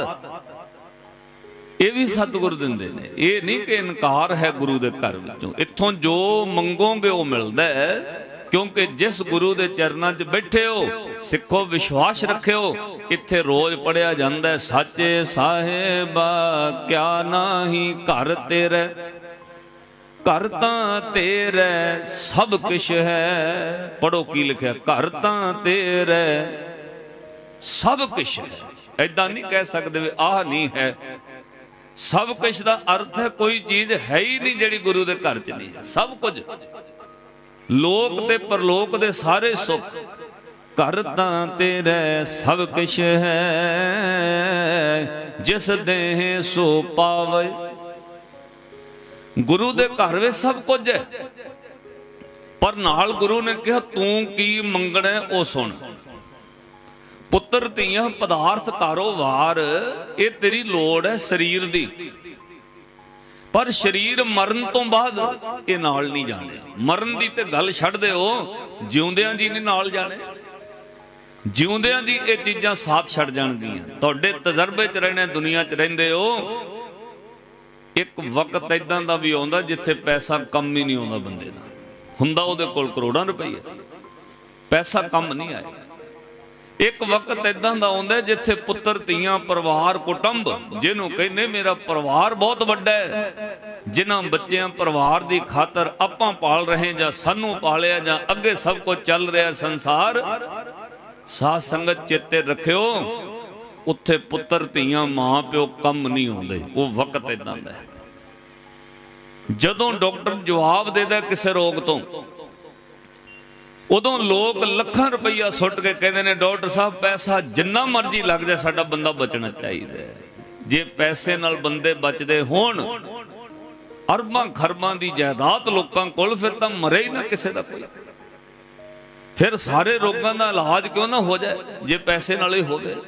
ਫਿਰ ਤਾਂ ਅਮੀਰ ਬੰਦਾ ਕਦੇ ਰੋਗੀ ਹੋਵੇ ਹੀ ਨਾ। ਤੇ ਸਾਧ ਸੰਗਤ, ਦੂਜੀ ਗੱਲ ਇੱਕ ਵਕਤ ਉਹ ਆਉਂਦਾ ਜਿੱਥੇ ਕੋਈ ਪੁੱਤਰ, ਧੀਆਂ, ਪਰਿਵਾਰ ਦੁੱਖ ਦੀ ਰਾਤ ਘਟਾ ਸਕਦੇ ਨੇ। ਵੀ ਅੱਜ ਰਾਤ ਮੈਂ ਲੈ, ਰਹਿ ਲੈਣਾ ਹਸਪੀਟਲ ਅੱਜ ਰਾਤ ਮੈਂ ਜਾਗ ਲੈਣਾ ਹਸਪਤਾਲ। ਦੁੱਖ ਦੀ ਰਾਤ ਘਟਾਈ ਜਾ ਸਕਦੀ ਹੈ, ਪਰ ਕੋਈ ਦੁੱਖ ਨਹੀਂ ਘਟਾ ਸਕਦਾ। ਕੋਈ ਹੈ ਬੰਦਾ ਜਿਹੜਾ ਦੁੱਖ ਬਣਾੜ ਜਾਵੇ, ਅੱਧਾ ਦੁੱਖ ਮੈਨੂੰ ਦੇ ਦੇ। ਨਹੀਂ। ਰਾਤ ਕਟਾਈ ਜਾ ਸਕਦੀ ਹੈ, ਪਰ ਦੁੱਖ ਕਟਾਇਆ ਨਹੀਂ ਜਾ ਸਕਦਾ। ਜਿੱਥੇ ਸਰੀਰ ਕੰਮ ਨਾ ਆਉਣ, ਜਿੱਥੇ ਪੈਸਾ ਕੰਮ ਨਾ ਆਏ, ਉੱਥੇ ਗੁਰੂ ਗ੍ਰੰਥ ਸਾਹਿਬ ਮਹਾਰਾਜ ਜੀ ਨੇ ਕਿਹਾ, ਜੋ ਤੂੰ ਮੰਗ ਰਿਹਾ ਸੱਚਾ ਨਾਮ, ਉਹ ਕੰਮ ਆਉਣਾ ਫਿਰ ਉੱਥੇ। ਬਿਨ ਤੁਧ ਹੋਰ ਜੇ ਮੰਗਣਾ ਪੜੋ ਬਿਨ ਤੁਧ ਹੋਰ ਜੇ ਮੰਗਣਾ, ਹੈ ਤਾਂ ਸਭ ਕੁਝ। ਪਰ ਗੁਰੂ ਨੇ ਸੁਚੇਤ ਕਰਤਾ ਮਹਾਰਾਜ ਨਾਲ। ਸਤਿਗੁਰੂ ਕਹਿੰਦੇ ਮੰਗ ਲੈ ਬਿਸ਼ੱਕ, ਮਿਲ ਵੀ ਜਾਣਾ ਪਰ ਆਹ ਗੱਲ ਯਾਦ ਰੱਖੀ ਆਪਣੀ ਸੁਰਤੀ 'ਚ ਕਿ ਬਿਨ ਤੁਧ ਹੋਰ ਜੇ ਮੰਗਣਾ, ਸਿਰ ਦੁੱਖਾਂ ਕੈ ਦੁੱਖ। ਸਭ ਦੁੱਖ ਨੇ ਜੋ ਤੂੰ ਮੰਗ ਰਿਹਾ। ਸਭ ਦੁੱਖ ਨੇ। ਅੱਜ ਹੈ ਕੱਲ ਨੂੰ ਇਹਨੇ ਬਦਲ ਜਾਣਾ ਸੁੱਖ ਨੇ ਦੁੱਖ ਵਿੱਚ। ਜਿਹੜੀ ਔਲਾਦ ਸੁੱਖਾਂ ਲਈ ਮੰਗ ਰਿਹਾ, ਚਾਹੀਦੀ ਹੈ। ਤੇਰੇ ਸਰੀਰ ਦੀ ਲੋੜ ਹੈ, ਪਰਿਵਾਰਕ ਤੌਰ ਤੇ ਚਾਹੀਦਾ ਪਰ ਇਹਨਾਂ ਨੇ ਦੁੱਖ ਵੀ ਦੇਣੇ ਨੇ ਤੈਨੂੰ। ਜਿਹੜਾ ਪੈਸਾ ਮੰਗ ਰਿਹਾ, ਉਹਨੇ ਪਾਟਕ ਵੀ ਪਾਉਣੇ ਨੇ, ਭਰਾ ਭਰਾ ਦੀ ਲੜਾਈ ਵੀ ਕਰਾਉਣੀ ਹੈ, ਪੈਸਾ ਵਧਣਾ ਪਰ ਨਾਲ ਦੁੱਖ ਵੀ ਆਉਣੇ ਇੱਕੋ ਚੀਜ਼ ਹੈ, ਜਿਹੜੇ ਮੰਗਣ ਦੇ ਨਾਲ ਦੁੱਖ ਨਹੀਂ ਆਉਣਾ। ਇੱਕੋ ਚੀਜ਼ ਹੈ ਜਿਹਦਾ ਮੰਗਿਆ ਜੇ ਮਿਲ ਜਾਏ ਸਾਧ ਸੰਗਤ ਉਹਨੇ ਦੁੱਖ ਕੱਟਣੇ ਨੇ, ਉਹਦੇ ਨਾਲ ਦੁੱਖ ਨਹੀਂ ਆਏਗਾ। ਉਹ ਕੀ ਚੀਜ਼ ਹੈ? ਕਾਲ ਪੁਰਖ ਵੈਗੁਰ ਦਾ ਨਾਮ, ਕਿਤੇ ਤੇਰੀ ਸੁਰਤ ਜਪਣ ਲੱਗ ਜਾਏ। ਸਤਨਾਮ ਸ੍ਰੀ ਵਾਹਿਗੁਰੂ। ਗੱਜ ਕੇ ਆਖੋ, ਸਤਨਾਮ ਸ੍ਰੀ। ਇਹਨੂੰ ਮਹਾਰਾਜ ਨੇ ਕਿਹਾ, ਬਿਨ ਤੁਧ ਹੋਰ ਜੇ ਮੰਗਣਾ, ਸਿਰ ਦੁੱਖਾਂ ਕੈ ਦੁੱਖ। ਮਹਾਰਾਜ, ਫਿਰ ਕੀ ਮੰਗੀਏ? ਕਹਿੰਦੇ ਮੰਗਿਆ ਕਰ ਦੇ ਨਾਮ ਸੰਤੋਖੀਆ, ਉਤਰੇ ਮਨ ਕੀ ਭੁੱਖ। ਵਾਹਿਗੁਰੂ, ਨਾਮ ਦਿਓ ਸਾਨੂੰ ਆਪਣਾ। ਆਪਣਾ ਨਾਮ ਬਖਸ਼ੋ। ਵਿਸਰ ਨਹੀਂ ਦਾਤਾਰ ਆਪਣਾ ਨਾਮ ਦੇਹੋ ਬਾਬਾ ਕਬੀਰ ਸਾਹਿਬ ਨੇ ਦੁਨਿਆਵੀ ਲੋੜ ਵੀ ਮੰਗੀ ਹੈ। ਦੇਖੋ ਧਰਮ ਸਾਡਾ। ਦੁਨਿਆਵੀ ਚੀਜ਼ਾਂ ਮੰਗੀਆਂ ਨੇ, ਮੰਗ ਗੁਰੂ ਕੋਲੋਂ। ਘਰ ਵਿੱਚ ਦੋ ਵਕਤ ਦਾ ਪ੍ਰਸ਼ਾਦਾ ਇੱਜ਼ਤ ਦਾ ਚਾਹੀਦਾ ਮੰਗ ਗੁਰੂ ਕੋਲੋਂ। ਕਹੇ ਮਹਾਰਾਜ, ਮੇਰੇ ਘਰ ਵਿੱਚ ਮੇਰੀ ਪੱਤ ਹੋਣੀ ਚਾਹੀਦੀ ਹੈ। ਇੱਜ਼ਤ ਹੋਣੀ ਚਾਹੀਦੀ ਇਲਾਕੇ ਵਿੱਚ। ਮੈਨੂੰ ਦੋ ਵਕਤ ਦਾ ਪ੍ਰਸ਼ਾਦਾ ਰਜਮਾ ਦਿਓ, ਇੱਜ਼ਤ ਦਾ ਦਿਓ, ਦੁਨੀਆ ਸੋਭਾ ਕਰੇ। ਮੇਰੇ ਘਰ ਵਿੱਚ ਆਇਆ ਹੋਇਆ ਅਤਿਥੀ, ਕੋਈ ਰਿਸ਼ਤੇਦਾਰ ਭੁੱਖਾ ਨਾ ਜਾਵੇ, ਇੰਨਾ ਕੁ ਮੈਨੂੰ ਰਾਸ਼ਨ ਦੇ ਦਿਓ। ਮੇਰੇ ਘਰ ਵਿੱਚ ਕੋਈ ਰਿਸ਼ਤੇਦਾਰ ਸਾਕ ਸੰਬੰਧੀ ਆਵੇ, ਉਹਦੇ ਲਿਟਣ ਪੈਣ ਸੌਣ ਦਾ ਪ੍ਰਬੰਧ ਹੋਵੇ, ਇੰਨੀ ਕੁ ਛੱਤ ਦੇ ਦਿਓ। ਸਭ ਕੁਝ ਪਦਾਰਥ ਮੰਗ ਕੇ ਫਿਰ ਨਾਲ ਕਿਹਾ, ਜੀ, ਮੈਂ ਲਾਲਚ ਨਹੀਂ ਕਰ ਰਿਹਾ, ਇਹ ਮੇਰੀ ਲੋੜ ਹੈ। ਗਵੰਡੀਆਂ ਦੇ ਥੋੜੀ ਪਾਉਣੇ ਨੇ ਰਿਸ਼ਤੇਦਾਰ। ਮੈਨੂੰ ਦਿਓ ਖਾਂ ਕੋਠੀ, ਬਣਾਓ ਮੇਰਾ ਘਰ। ਚਾਹੀਦਾ ਮੈਂ ਗਵੰਡੀਆਂ ਦੇ ਬਿਸਤਰੇ ਥੋੜੀ ਮੰਗਣ ਜਾਣੇ ਮੈਨੂੰ ਦਿਓ ਮੇਰੇ ਘਰ ਵਿੱਚ ਗਰਮ ਸਰਦ ਵਿਸਤੇ ਹੋਣ। ਸਭ ਕੁਝ ਮੰਗ ਕੇ ਕਿਹਾ, ਮੈਂ ਲਾਲਚ ਨਹੀਂ ਕਰ ਰਿਹਾ। ਇਹ ਮੇਰੀ ਲੋੜ ਹੈ। ਪਰ ਇੱਕ ਕਿਰਪਾ ਕਰੋ, ਇਹ ਸਭ ਕੁਝ ਦੇ ਕੇ ਸਤਿਗੁਰੂ, ਮੈਨੂੰ ਨਾਮ ਨਾਲ ਜ਼ਰੂਰ ਦਿਓ। ਜੇ ਨਾਮ ਵਿਸਰ ਗਿਆ, ਫਿਰ ਕੋਠੀ ਵੀ ਬਣੀ ਹੋਵੇ, ਕਾਰਾਂ ਵੀ ਖੜੀਆਂ ਹੋਣ, ਫਿਰ ਸੁੱਖ ਨਹੀਂ ਹੈ, ਦੁੱਖ ਹੀ ਦੁੱਖ ਨੇ ਆ ਸ਼ਬਦ ਤੁਸੀਂ ਰੋਜ਼ ਪੜ੍ਹਦੇ ਹੋ, ਦਰਬਾਰ ਸਾਹਿਬ ਤੋਂ ਆਰਤੀ ਹੁੰਦੀ ਹੈ। ਉੱਥੇ ਮਹਾਰਾਜ ਨੇ ਦੁਨਿਆਵੀ ਲੋੜ ਮੰਗਣ ਵਾਸਤੇ ਕਿਹਾ। ਭਗਤਾਂ ਨੇ ਰੱਬ ਕੋਲੋਂ ਮੰਗਿਆ ਦੋਏ ਸਿਰ ਮੰਗੋ ਚੂਨਾ। ਚੂਨਾ ਕਹਿੰਦੇ ਆਟੇ ਨੂੰ। ਦੋ ਵਕਤ ਦਾ ਪ੍ਰਸ਼ਾਦਾ ਨਹੀਂ ਚਾਹੀਦਾ। ਦੋਏ ਸਿਰ ਮੰਗੋ ਚੂਨਾ, ਦੋਏ ਸਿਰ ਮੰਗੋ ਚੂਨਾ। ਪਾਓ ਘਿਓ ਸੰਗ ਲੂਨਾ, ਮੈਨੂੰ ਘਿਓ ਵੀ ਚਾਹੀਦਾ ਰੋਜ਼ ਪਾਈਆ ਪਾਓ ਕਿ ਉਹ ਸੰਗ ਲੂਨਾ ਅਦ ਸਿਰ ਮੰਗੂ ਦਾਲੇ, ਮੋਕੋ ਦੋਨੋਂ ਵਖਤ ਜਿਵਾਲੇ, ਖਾਟ ਮੰਗੋ ਚੌਪਾਈ। ਚੌਪਾਈ ਮੰਜੇ ਚਾਰ ਪਾਈ ਜਿਹਨੂੰ ਆਪਾਂ ਕਹਿੰਦੇ ਖਾਟ ਮੰਗੋ ਚੌਪਾਈ ਸਰਾਣਾ ਅਵਰ ਤੁਲਾਈ। ਉੱਪਰ ਕੋ ਮੰਗੋ ਖਿੰਤਾ, ਸਿਆਲ ਆਵੇ, ਮੈਨੂੰ ਤਲਾਈਆਂ ਰਜਾਈਆਂ ਚਾਹੀਦੀਆਂ ਮੇਰੇ ਘਰ ਚ। ਲੋਕਾਂ ਤੋਂ ਥੋੜੀ ਮੰਗਣ ਜਾਣੀ ਉਪਰ ਕੋ ਮੰਗੋ ਖਿੰਤਾ, ਤੇਰੀ ਭਗਤ ਕਰੇ ਜਨ ਤਿੰਤਾ ਇਹ ਕਿਰਪਾ ਕਰੋ ਵਾਹਿਗੁਰੂ, ਮੈਂ ਨਹੀਂ ਕੀਤਾ ਲੱਭੋ। ਲਾਲਚ ਥੋੜੀ ਕੀਤਾ ਮੈਂ, ਇਹ ਲੋੜ ਹੈ ਮੇਰੀ। ਮੈਂ ਨਹੀਂ ਕੀਤਾ ਲੱਭੋ, ਇੱਕ ਨਾਮ ਤੇਰਾ ਮੈਂ ਫੱਬੋ। ਤੇਰਾ ਨਾਮ ਮੈਨੂੰ ਚੰਗਾ ਲੱਗੇ ਇੰਨਾ ਸਭ ਕੁਝ ਹੁੰਦਿਆਂ ਤੇਰਾ ਨਾਮ ਚੇਤੇ ਆਵੇ। ਸਤਨਾਮ ਸ੍ਰੀ ਵਾਹਿਗੁਰੂ। ਜੇ ਨਾਮ ਭੁੱਲ ਗਿਆ, ਫਿਰ ਮਹਾਰਾਜ ਨੇ ਬਚਨ ਕਹੇ, ਮੋਤੀ ਤਾਂ ਮੰਦਰ ਉਸਰੇ ਜਿੰਨਾ ਮਰਜ਼ੀ ਅਮੀਰ ਹੋ ਜਾਏ ਫਿਰ ਤੂੰ, ਜੇ ਨਾਮ ਭੁੱਲ ਗਿਆ। ਮੋਤੀ ਤਾਂ ਮੰਦਰ ਉਸਰੇ, ਰਤਨੀ ਤਾਂ ਹੋਏ ਜੜਾਓ। ਕਸਤੂਰ ਕੁੰਗੂ ਅਗਰ ਚੰਦਨ ਲੀਪ ਆਵੇ ਚਾਓ। ਮਤ ਦੇਖ ਭੁੱਲਾਂ ਵਿਸਰੈ, ਤੇਰਾ ਚਿਤ ਨਾ ਆਵੇ ਨਾ ਵੇ ਗੁਰੂ, ਇੰਨਾ ਕੋਈ ਹੋਵੇ ਪਰ ਭੁੱਲ ਨਾ ਜਾਵਾਂ ਤੇਰਾ ਨਾਮ। ਕਿਉਂਕਿ ਜੇ ਨਾਮ ਭੁੱਲ ਗਿਆ, ਫਿਰ ਤਾਂ ਸਿਰ ਦੁੱਖਾਂ ਕੇ ਦੁੱਖ। ਬਿਨ ਤੁਧ ਹੋਰ ਜੇ ਮੰਗਣਾ, ਸਿਰ ਦੁੱਖਾਂ ਕੈ ਦੁੱਖ। ਸਾਰੇ ਪੜੋ ਹੁਣ। ਬਿਨ ਤੁਧ ਹੋਰ ਜੇ ਮੰਗਣਾ, ਸਿਰ ਦੁੱਖਾਂ ਕੈ ਦੁੱਖ। ਬਿਨ ਤੁਧ ਹੋਰ ਜੇ ਸਿਰ ਦੁੱਖਾਂ ਕੈ ਤੇ ਫਿਰ ਕੀ ਮੰਗਣਾ? ਦੇ ਨਾਮ ਸੰਤੋਖੀਆ, ਉਤਰੇ ਮਨ ਕੀ ਭੁੱਖ, ਦੇ ਨਾਮ ਸੰਤ ਉਤਰੇ ਮਨ ਕੀ ਭੁੱਖ। ਜਦੋਂ ਨਾਮ ਮਿਲ ਗਿਆ, ਨਾਮ ਉੱਥੇ ਸਹਾਈ ਜੀ ਜਿੱਥੇ ਪੈਸਾ ਕੰਮ ਨਾ ਕਰੇ। ਨਾਮ ਉੱਥੇ ਕਰਾਮਾਤ ਦਿਖਾਉਂਦਾ ਜਿੱਥੇ ਬੰਦੇ ਕੰਮ ਨਾ ਆਉਣ ਤਾਂ ਮਹਾਰਾਜ ਨੇ ਬਿਲਕੁਲ ਸਾਫ਼ ਸ਼ਬਦਾਂ ਵਿੱਚ ਲਿਖਿਆ ਪੜੋ ਜਹ ਮਾਤ ਪਿਤਾ ਸੁਤ, ਮੀਤ ਨ ਭਾਈ ਮਨੁਹ ਨਾਮ ਤੇਰੇ ਸੰਗ ਸਹਾਈ, ਜੈ ਮਹਾ ਭਿਆਨ ਦੂਤ ਜਮ ਦਲੇ, ਤੈ ਕੇਵਲ ਨਾਮ ਸੰਗ ਤੇਰੇ ਚੱਲੇ, ਜੈ ਮੁਸ਼ਕਲ ਹੋਵੇ ਅਤ ਭਾਰੀ। ਹਰ ਕੋ ਨਾਮ ਖਿਨ ਮਹੇ ਉਧਾਰੀ, ਹਰ ਕੋ ਨਾਮ ਖਿਨ ਮਹੇ ਉਧਾਰੀ। ਕਹਿੰਦੇ ਜਿੱਥੇ ਅਤ ਮੁਸ਼ਕਲ ਪੈਦਾ ਹੋ ਜਾਏ, ਉੱਥੇ ਨਾਮ ਜਪੀ, ਨਾਮ ਨੇ ਤੈਨੂੰ ਐ ਕੱਢ ਲੈਣਾ ਉਹ ਮੁਸ਼ਕਲ ਵਿੱਚੋਂ, ਤੈਨੂੰ ਤੱਤੀ ਹਵਾ ਵੀ ਨਹੀਂ ਲੱਗਣ ਦੇਣੀ ਦੁੱਖ ਦੀ। ਨਾਮ ਵਿੱਚ ਇੰਨੀ ਵੱਡੀ ਕਰਾਮਾਤ ਹੈ, ਅਕਾਲ ਪੁਰਖ ਵੈਗੁਰੂ ਦਾ ਨਾਮ ਜਪ ਨਾਮ ਤੈਨੂੰ ਦੁੱਖਾਂ ਚੋਂ ਕੱਢ ਲਏਗਾ। ਸਾਧ ਸੰਗਤ, ਮੈਂ ਕਈ ਵਾਰ ਇਹ ਬੇਨਤੀ ਦੀਵਾਨਾਂ 'ਚ ਕੀਤੀ, ਜਿਹੜੇ ਲੋਕ ਕਹਿੰਦੇ, ਨਾਮ ਜਪਣ ਨਾਲ ਕੀ ਹੁੰਦਾ? ਵਾਹਿਗੁਰੂ ਵਾਹਿਗੁਰੂ ਕਰਨਾ ਤੋਤਾ ਰਟਣਾ ਗੁਰੂ ਗ੍ਰੰਥ ਸਾਹਿਬ ਦੀ ਬਾਣੀ ਪੜਨ ਦਾ ਕੀ ਫਾਇਦਾ? ਜੇ ਉਹਦੇ ਉੱਤੇ ਚੱਲਣਾ ਹੀ ਨਹੀਂ ਹੈ। ਹਾਂ, ਇਹ ਗੱਲ ਸਹੀ ਹੈ। ਇਹਦੇ 'ਚ ਕੋਈ ਸ਼ੱਕ ਨਹੀਂ। ਕਿ ਗੁਰੂ ਗ੍ਰੰਥ ਸਾਹਿਬ ਮਹਾਰਾਜ ਦੀ ਬਾਣੀ ਕੱਲਾ ਪਾਠ ਕਰਨ ਵਾਸਤੇ ਨਹੀਂ ਕੱਲਾ ਖੰਡ ਪਾਠ ਸਾਹਿਬ ਕਰਾਉਣ ਵਾਸਤੇ ਨਹੀਂ। ਇਹ ਸਾਨੂੰ ਉਪਦੇਸ਼ ਹੈ ਇਸ ਮਾਰਗ ਤੇ ਤੁਰਨਾ ਪਰ ਇਹ ਵੀ ਯਾਦ ਰੱਖਿਓ, ਜਿਹੜੇ ਕਹਿੰਦੇ ਪੜਨ ਦਾ ਫਾਇਦਾ ਨਹੀਂ, ਉਹ ਵੀ ਭੁੱਲੇ ਹੋਏ ਨੇ। ਪੜਨ ਦਾ ਫਾਇਦਾ ਹੈ। ਗੁਰੂ ਗ੍ਰੰਥ ਸਾਹਿਬ ਦੀ ਬਾਣੀ ਦਾ ਨੇਮ ਕਰਨਾ ਜੇ ਫਾਇਦਾ ਨਾ ਹੋਵੇ, ਤੇ ਪੰਜ ਪਿਆਰੇ ਕਿਉਂ ਕਹਿਣ ਜੀ, ਰੋਜ਼ ਨਿਤਨੇਮ ਕਰਨਾ ਬਾਣੀ ਕੀ ਲੋੜ ਹੈ ਫਿਰ? ਇੱਕੋ ਵਾਰ ਅਰਥ ਪੜ ਲਓ, ਫਿਰ ਰੋਜ਼ ਪਾਠ ਕਰਨ ਦੀ ਕੀ ਲੋੜ? ਨਹੀਂ। ਗੁਰੂ ਗ੍ਰੰਥ ਸਾਹਿਬ ਮਹਾਰਾਜ ਦੀ ਬਾਣੀ ਰੱਬ ਹੈ। ਇਹਨੂੰ ਵਿਦਵਾਨ ਹੈ ਵੀ ਕਹਿੰਦੇ ਵੇ ਬਾਣੀ ਜਿਹੜਾ ਉਹ ਮਿਸ਼ਰੀ ਦਾ ਪਹਾੜ ਹੈ ਤੇ ਮਿਸ਼ਰੀ ਕਿਸੇ ਪਾਸਿਓਂ ਵੀ ਚੱਕ ਮਾਰ ਲਓ, ਮਿੱਠੀ ਹੈ, ਉਹ ਬਾਣੀ ਖਾਲੀ ਪੜ ਵੀ ਲਓ, ਤਾਂ ਵੀ ਤੁਹਾਡਾ ਨੁਕਸਾਨ ਨਹੀਂ, ਤੁਹਾਨੂੰ ਫਾਇਦਾ ਹੀ ਹੋਣਾ ਹੈ। ਪਰ ਉਸ ਬਾਣੀ ਦੇ ਦੱਸੇ ਦਰਸਾਏ ਮਾਰਗ ਤੇ ਤੁਰਨਾ ਬਾਣੀ ਪੜੋਗੇ ਉਹ ਦੁੱਖ ਤੇ ਰੋਗ ਮਿਟਾ ਦੇਗੀ। ਬਾਣੀ ਸੁਣੋਗੇ, ਉਹ ਤਿੰਨ ਚੀਜ਼ਾਂ ਤੇ ਅਸਰ ਕਰੇਗੀ। ਦੁੱਖ, ਰੋਗ ਤੇ ਸੰਤਾਪ। ਤਿੰਨ ਚੀਜ਼ਾਂ ਮਟਾਉਂਦੀ ਹੈ ਬਾਣੀ। ਪਰ ਗੁਰੂ ਨੇ ਕਿਹਾ, ਜਦੋਂ ਤੂੰ ਦੱਸੇ ਮਾਰਗ ਤੇ ਤੁਰੇ, ਫਿਰ ਗੁਰੂ ਦੀ ਜ਼ਿੰਮੇਵਾਰੀ ਹੈ ਕੱਲੇ ਤੇਰੇ ਦੁੱਖ ਰੋਗ ਸਰੀਰਕ ਸੰਤਾਪ ਨਹੀਂ, ਉਹ ਤੇਰਾ ਸਭ ਤੋਂ ਵੱਡਾ ਦੁੱਖ ਵੀ ਬਾਣੀ ਨੇ ਮਿਟਾ ਦੇਣਾ ਜਿਹਨੂੰ ਮਹਾਰਾਜ ਕਹਿੰਦੇ, ਜਨਮ ਮਰਨ ਫਿਰ ਗਰਭ ਨਾ ਧੁਖ।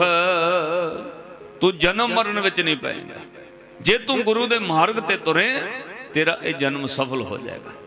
ਪਰ ਬਾਣੀ ਸੁਣਨ ਤੇ ਪੜਨ ਵਾਸਤੇ ਵੀ ਕਿਹਾ। ਇੰਨਾ ਜ਼ਰੂਰ ਕਿਹਾ, ਗਾਵਿਆ, ਸੁਣਿਆ, ਤਿੰਨ ਕਾ ਹਰ ਥਾਂ ਪਾਵੇ, ਜਿਨ ਸਤਗੁਰ ਕੀ ਆਗਿਆ, ਸਤ ਸਤ ਕਰ ਮੰਨੀ, ਪਰ ਕੱਲਾ ਸੁਣਨ ਨਾਲ ਜਾਂ ਪੜਨ ਨਾਲ ਇਹ ਨਹੀਂ ਵੀ ਕੋਈ ਫਾਇਦਾ ਨਹੀਂ। ਇਹ ਤਾਂ ਬਹੁਤ ਵੱਡੀ ਭੁੱਲ ਹੈ। ਫਾਇਦਾ ਹੈ। ਹਜ਼ੂਰ ਨੇ ਬਚਨ ਪੜੋ ਰੋਜ਼ ਹੀ ਪੜਦੇ ਹੋ ਤੁਸੀਂ। ਦੁੱਖ, ਰੋਗ, ਸੰਤਾਪ ਉਤਰੇ, ਆਖੋ, ਦੁੱਖ, ਰੋਗ, ਸੰ ਕਾਦੇ ਨਾਲ ਜੀ? ਸੁਣੀ ਸੱਚੀ ਬਾਣੀ, ਸੁਣੀ ਸੱਚੀ। ਸੁਣਨ ਨਾਲ ਵੀ ਦੁੱਖ ਰੋਗ ਸੰਤਾਪ ਮਿਟਣਗੇ। ਇਹ ਗੱਲ ਪੂਰੇ ਗੁਰੂ ਨੇ ਦੱਸੀ ਹੈ। ਦੁਖ ਰੋਗ ਸੰਤਾਪ ਉਤਰੇ, ਸੁਣੀ ਸੱਚੀ ਬਾਣੀ। ਸੰਤ ਸਾਜਨ ਭੈ ਸਰਸੇ ਪੂਰੇ ਗੁਰ ਤੇ ਜਾਣੀ। ਇਹ ਪੂਰੇ ਗੁਰੂ ਨੇ ਜਾਣਕਾਰੀ ਦਿੱਤੀ ਹੈ, ਸਿੱਖੋ। ਦੁੱਖ ਰੋਗ ਸੰਤਾਪ ਹਟਣਗੇ ਤੁਹਾਡੇ ਬਾਣੀ ਪੜਨ ਨਾਲ। ਵੈਗੁਰੂ ਕਹਿਣ ਨਾਲ ਦੁੱਖ ਮਿਟਣਗੇ। ਵੈਗੁਰੂ ਕਹਿਣ ਨਾਲ ਜਨਮ ਮਰਨ ਮਿਟੇਗਾ। ਮਹਾਂਪੁਰਸ਼ ਦੀਵਾਨ ਲਾ ਕੇ ਨਿਕਲੇ ਤੇ ਸਾਹਮਣੇ ਇੱਕ ਸੱਜਣ ਬੜਾ ਅਮੀਰ ਅਫਸਰ ਸੀ ਉਸ ਪਿੰਡ ਦਾ। ਉਹ ਵੀ ਦੀਵਾਨਾਂ ਵਿੱਚ ਆਇਆ। ਪੰਜ ਚਾਰ ਉਹਦੇ ਨਾਲ ਜੂਨੀਅਰ ਅਫਸਰ। ਸਾਰੇ ਲੋਕ ਉਹਦੇ ਵੱਲ ਵੇਖਣ। ਕਿਉਂਕਿ ਬੰਦਾ ਚਾਹੁੰਦਾ ਹੈ, ਜਦੋਂ ਮੈਂ ਕਿਤੇ ਜਾਵਾਂ, ਬਾਕੀ ਲੋਕ ਮੈਨੂੰ ਵੇਖਣ ਵੇ ਕੋਈ ਆਇਆ। ਆ ਕੇ ਦੀਵਾਨਾਂ 'ਚ ਬਹਿ ਗਿਆ, ਦੀਵਾਨ ਸਮਾਪਤ ਹੋ ਗਏ ਮਹਾਂਪੁਰਸ਼ ਜਦੋਂ ਚੱਲੇ ਤਾਂ ਉਹ ਬਾਹਰ ਨਿਕਲ ਕੇ ਪੰਜ ਸੱਤ ਬੰਦਿਆਂ ਨੂੰ ਲੈ ਕੇ ਖੜਾ। ਉਹਦੇ ਮਨ ਵਿੱਚ ਈਰਖਾ ਇਸ ਗੱਲ ਦੀ, ਮੇਰਾ ਨਾਂ ਹੀ ਨਹੀਂ ਲਿਆ ਕਿਸੇ ਨੇ। ਨਾਮ ਲੈਣਾ ਚਾਹੀਦਾ ਸੀ। ਮੇਰੇ ਬਾਰੇ ਬੋਲਣਾ ਚਾਹੀਦਾ ਸੀ। ਅੱਧ ਨਾਲੋਂ ਵੱਧ ਲੋਕ ਮਾਫ ਕਰਿਓ, ਧਾਰਮਿਕ ਸਮਾਗਮਾਂ ਵਿੱਚ ਵੀ ਇਹ ਇੱਛਾ ਰੱਖ ਕੇ ਆਉਂਦੇ ਨੇ, ਮੇਰਾ ਨਾਮ ਬੋਲਿਆ ਜਾਵੇ, ਮੇਰਾ ਨਾਮ ਲਿਆ ਜਾਵੇ। ਜੇ ਨਾਮ ਨਾ ਲਓ, ਫਿਰ ਨੁਕਸ ਕੱਢਣਗੇ ਜੇ ਨਾਮ ਲੈ ਦਿਓ, ਫਿਰ ਵਡਿਆਈ ਕਰਨਗੇ, ਵਧੀਆ ਕਰ ਰਹੇ ਵੇ ਬਹੁਤ ਵਧੀਆ। ਨਹੀਂ ਤਾਂ ਨੁਕਸ ਕੱਢ ਕੇ ਜਾਣਗੇ ਕੋਈ ਨਾ। ਤਾਂ ਇਹ ਮਨ ਦੇ ਅੰਦਰ ਇੱਛਾ ਲੋਕ ਰੱਖ ਕੇ ਆਉਂਦੇ। ਉਹ ਸੱਜਣ ਦੇ ਮਨ ਵਿੱਚ ਇੱਛਾ, ਮੇਰਾ ਨਾਮ ਲੈਣ, ਨਹੀਂ ਬੋਲੇ ਮਹਾਂਪੁਰਸ਼। ਤਾਂ ਬਾਬਾ ਈਸ਼ਰ ਸਿੰਘ ਜੀ ਰਾੜਾ ਸਾਹਿਬ ਜਦੋਂ ਉਹ ਬਾਹਰ ਦੀਵਾਨ ਲਾ ਕੇ ਨਿਕਲੇ ਤਾਂ ਉਹ ਅੱਗੋਂ ਖੜ ਗਿਆ ਕਹਿੰਦਾ ਜੀ, ਮੈਂ ਫਲਾਨਾ, ਮੈਂ ਇਸ ਤਰ੍ਹਾਂ ਅਫਸਰ ਫਲਾਨੀ ਜਗ੍ਹਾ ਤੇ, ਤਾਂ ਮਹਾਂਪੁਰਸ਼ ਕਹਿੰਦੇ, ਠੀਕ ਹੈ ਜੀ ਜੀ ਆਏ ਅੱਗੋਂ ਕਹਿੰਦਾ, ਬਾਬਾ ਜੀ ਆ ਕੀ ਤੁਸੀਂ ਡੇਢ ਘੰਟਾ ਕੋਈ ਗੱਲ ਸੁਣਾਈ ਗਏ? ਵਾਹਿਗੁਰੂ ਜਪਣ ਦੇ ਨਾਲ ਜਮਾਂ ਦੀ ਮਾਰ ਤੋਂ ਬਚ ਜਾਈਦਾ ਵਾਹਿਗੁਰੂ ਦਾ ਨਾਮ ਜਪਣ ਦੇ ਨਾਲ ਦੁੱਖ ਰੋਗ ਸੰਤਾਪ ਮਿਟ ਜਾਂਦੇ ਨੇ, ਵਾਹਿਗੁਰੂ ਜਪਣ ਨਾਲ ਮੁਸ਼ਕਲਾਂ ਕੱਟੀਆਂ ਜਾਂਦੀਆਂ ਨੇ, ਵਾਹਿਗੁਰੂ ਜਪਣ ਨਾਲ ਜਨਮ ਮਰਨ ਮਿਟ ਜਾਂਦਾ। ਕਹਿੰਦਾ, ਲਓ ਮੈਂ ਕਹਿ ਦਿੰਨਾ, ਵਾਹਿਗੁਰੂ ਵਾਹਿਗੁਰੂ ਵਾਹਿਗੁਰੂ। ਕਹਿੰਦਾ, ਮੈਂ ਮੁਕਤ ਹੋ ਗਿਆ। ਸਾਹਮਣੇ ਮਹਾਂਪੁਰਸ਼ਾਂ ਕਹਿੰਦਾ, ਲਓ ਮੈਂ ਕਹਿ ਦਿੰਨਾ, ਵਾਹਿਗੁਰੂ ਵਾਹਿਗੁਰੂ ਵਾਹਿਗੁਰੂ। ਕਹਿੰਦਾ, ਮੈਂ ਮੁਕਤ ਹੋ ਗਿਆ।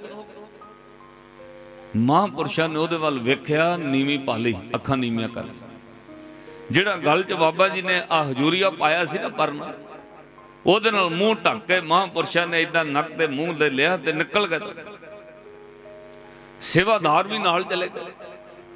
ਜਦੋਂ ਚਲੇ ਗਏ, ਗੱਡੀ ਤੁਰ ਪਈ, ਤਾਂ ਗੱਡੀ ਵਿੱਚ ਬੈਠੇ ਇੱਕ ਸੇਵਾਦਾਰ ਨੇ ਕਿਹਾ, ਕਹਿੰਦੇ, ਬਾਬਾ ਜੀ, ਉਹਨੂੰ ਜਵਾਬ ਕਿਉਂ ਨਹੀਂ ਦਿੱਤਾ ਤੁਸੀਂ ਕੋਈ?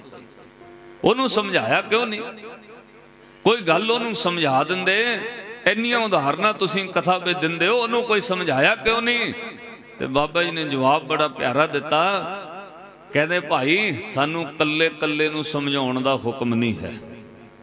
ਕੱਲੇ ਕੱਲੇ ਨੂੰ ਸਮਝਾਉਣ ਦਾ ਸਾਨੂੰ ਹੁਕਮ ਨਹੀਂ ਹੈ। ਸਾਨੂੰ ਗੁਰੂ ਗ੍ਰੰਥ ਸਾਹਿਬ ਦੀ ਹਜ਼ੂਰੀ ਤਾਬਿਆ ਸਮਝਾਉਣ ਦਾ ਹੁਕਮ ਹੈ, ਕਿਉਂਕਿ ਅਸੀਂ ਨਹੀਂ ਸਮਝਾਉਂਦੇ। ਜਿਹਨੂੰ ਸਮਝਾਉਣਾ ਗੁਰੂ ਗ੍ਰੰਥ ਸਾਹਿਬ ਮਹਾਰਾਜ ਨੇ ਸਮਝਾਉਣਾ ਆਪੇ ਸਮਝਾ ਲੈਣਾ ਅਸੀਂ ਕੌਣ ਹੁੰਦੇ? ਸਾਡੇ ਬੋਲ ਨਾਲ ਕੋਈ ਸਮਝ ਸਕਦਾ? ਸਾਡੀ ਕਥਾ ਨਾਲ ਕੋਈ ਅੰਮ੍ਰਿਤ ਛਕ ਲੈਗਾ ਨਹੀਂ। ਇਹ ਗੁਰੂ ਗ੍ਰੰਥ ਸਾਹਿਬ ਦੀ ਕਥਾ ਨਾਲ ਕੋਈ ਅੰਮ੍ਰਿਤਧਾਰੀ ਹੋਣਾ ਹੈ। ਗੁਰੂ ਗ੍ਰੰਥ ਸਾਹਿਬ ਮਹਾਰਾਜ ਦੀ ਬਾਣੀ ਨਾਲ ਦੁੱਖ ਕੱਟੇ ਜਾ ਮਹਾਂਪੁਰਸ਼ ਕਹਿੰਦੇ, ਅਸੀਂ ਕੌਣ ਹੁੰਨੇ ਸਮਝਾਉਣ ਵਾਲੇ? ਕੱਲੇ ਕੱਲੇ ਨੂੰ ਸਮਝਾਉਣ ਦਾ ਹੁਕਮ ਨਹੀਂ ਹੈ। ਸਾਨੂੰ ਗੁਰੂ ਗ੍ਰੰਥ ਸਾਹਿਬ ਦੀ ਤਾਬਿਆ ਸਮਝਾਉਣ ਦਾ ਹੁਕਮ ਹੈ। ਜਿਹਨੂੰ ਸਮਝਾਉਣਾ ਗੁਰੂ ਗ੍ਰੰਥ ਸਾਹਿਬ ਮਹਾਰਾਜ ਨੇ ਆਪੇ ਸਮਝਾ ਲੈਣਾ।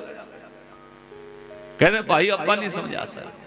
ਸਾਧ ਸੰਗਤ, ਇਹ ਸੰਤ ਦੀ ਨਿਸ਼ਾਨੀ ਹੈ। ਇਹ ਸਾਧ ਦੀ ਨਿਸ਼ਾਨੀ ਹੈ।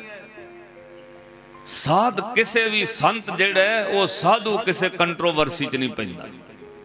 ਸਾਧੂ ਇਸ ਗੱਲ ਦੀ ਲੋੜ ਮਹਿਸੂਸ ਨਹੀਂ ਕਰਦਾ ਕਿ ਮੈਂ ਸਾਰੇ ਲੋਕਾਂ ਨੂੰ ਸੈਟੀਸਫੈਕਸ਼ਨ ਦੇਣੀ। ਉਹਨੂੰ ਕੀ ਲੋੜ ਹੈ? ਉਹ ਕਿਸੇ ਨੂੰ ਸੈਟੀਸਫਾਈ ਕਰਦਾ ਫਿਰੇ। ਕੋਈ ਮੰਨੇ ਭਾਵੇਂ ਨਾ ਮੰਨੇ, ਸੰਤ ਨੂੰ ਇਹਦੇ ਨਾਲ ਕੋਈ ਲੈਣਾ ਦੇਣਾ।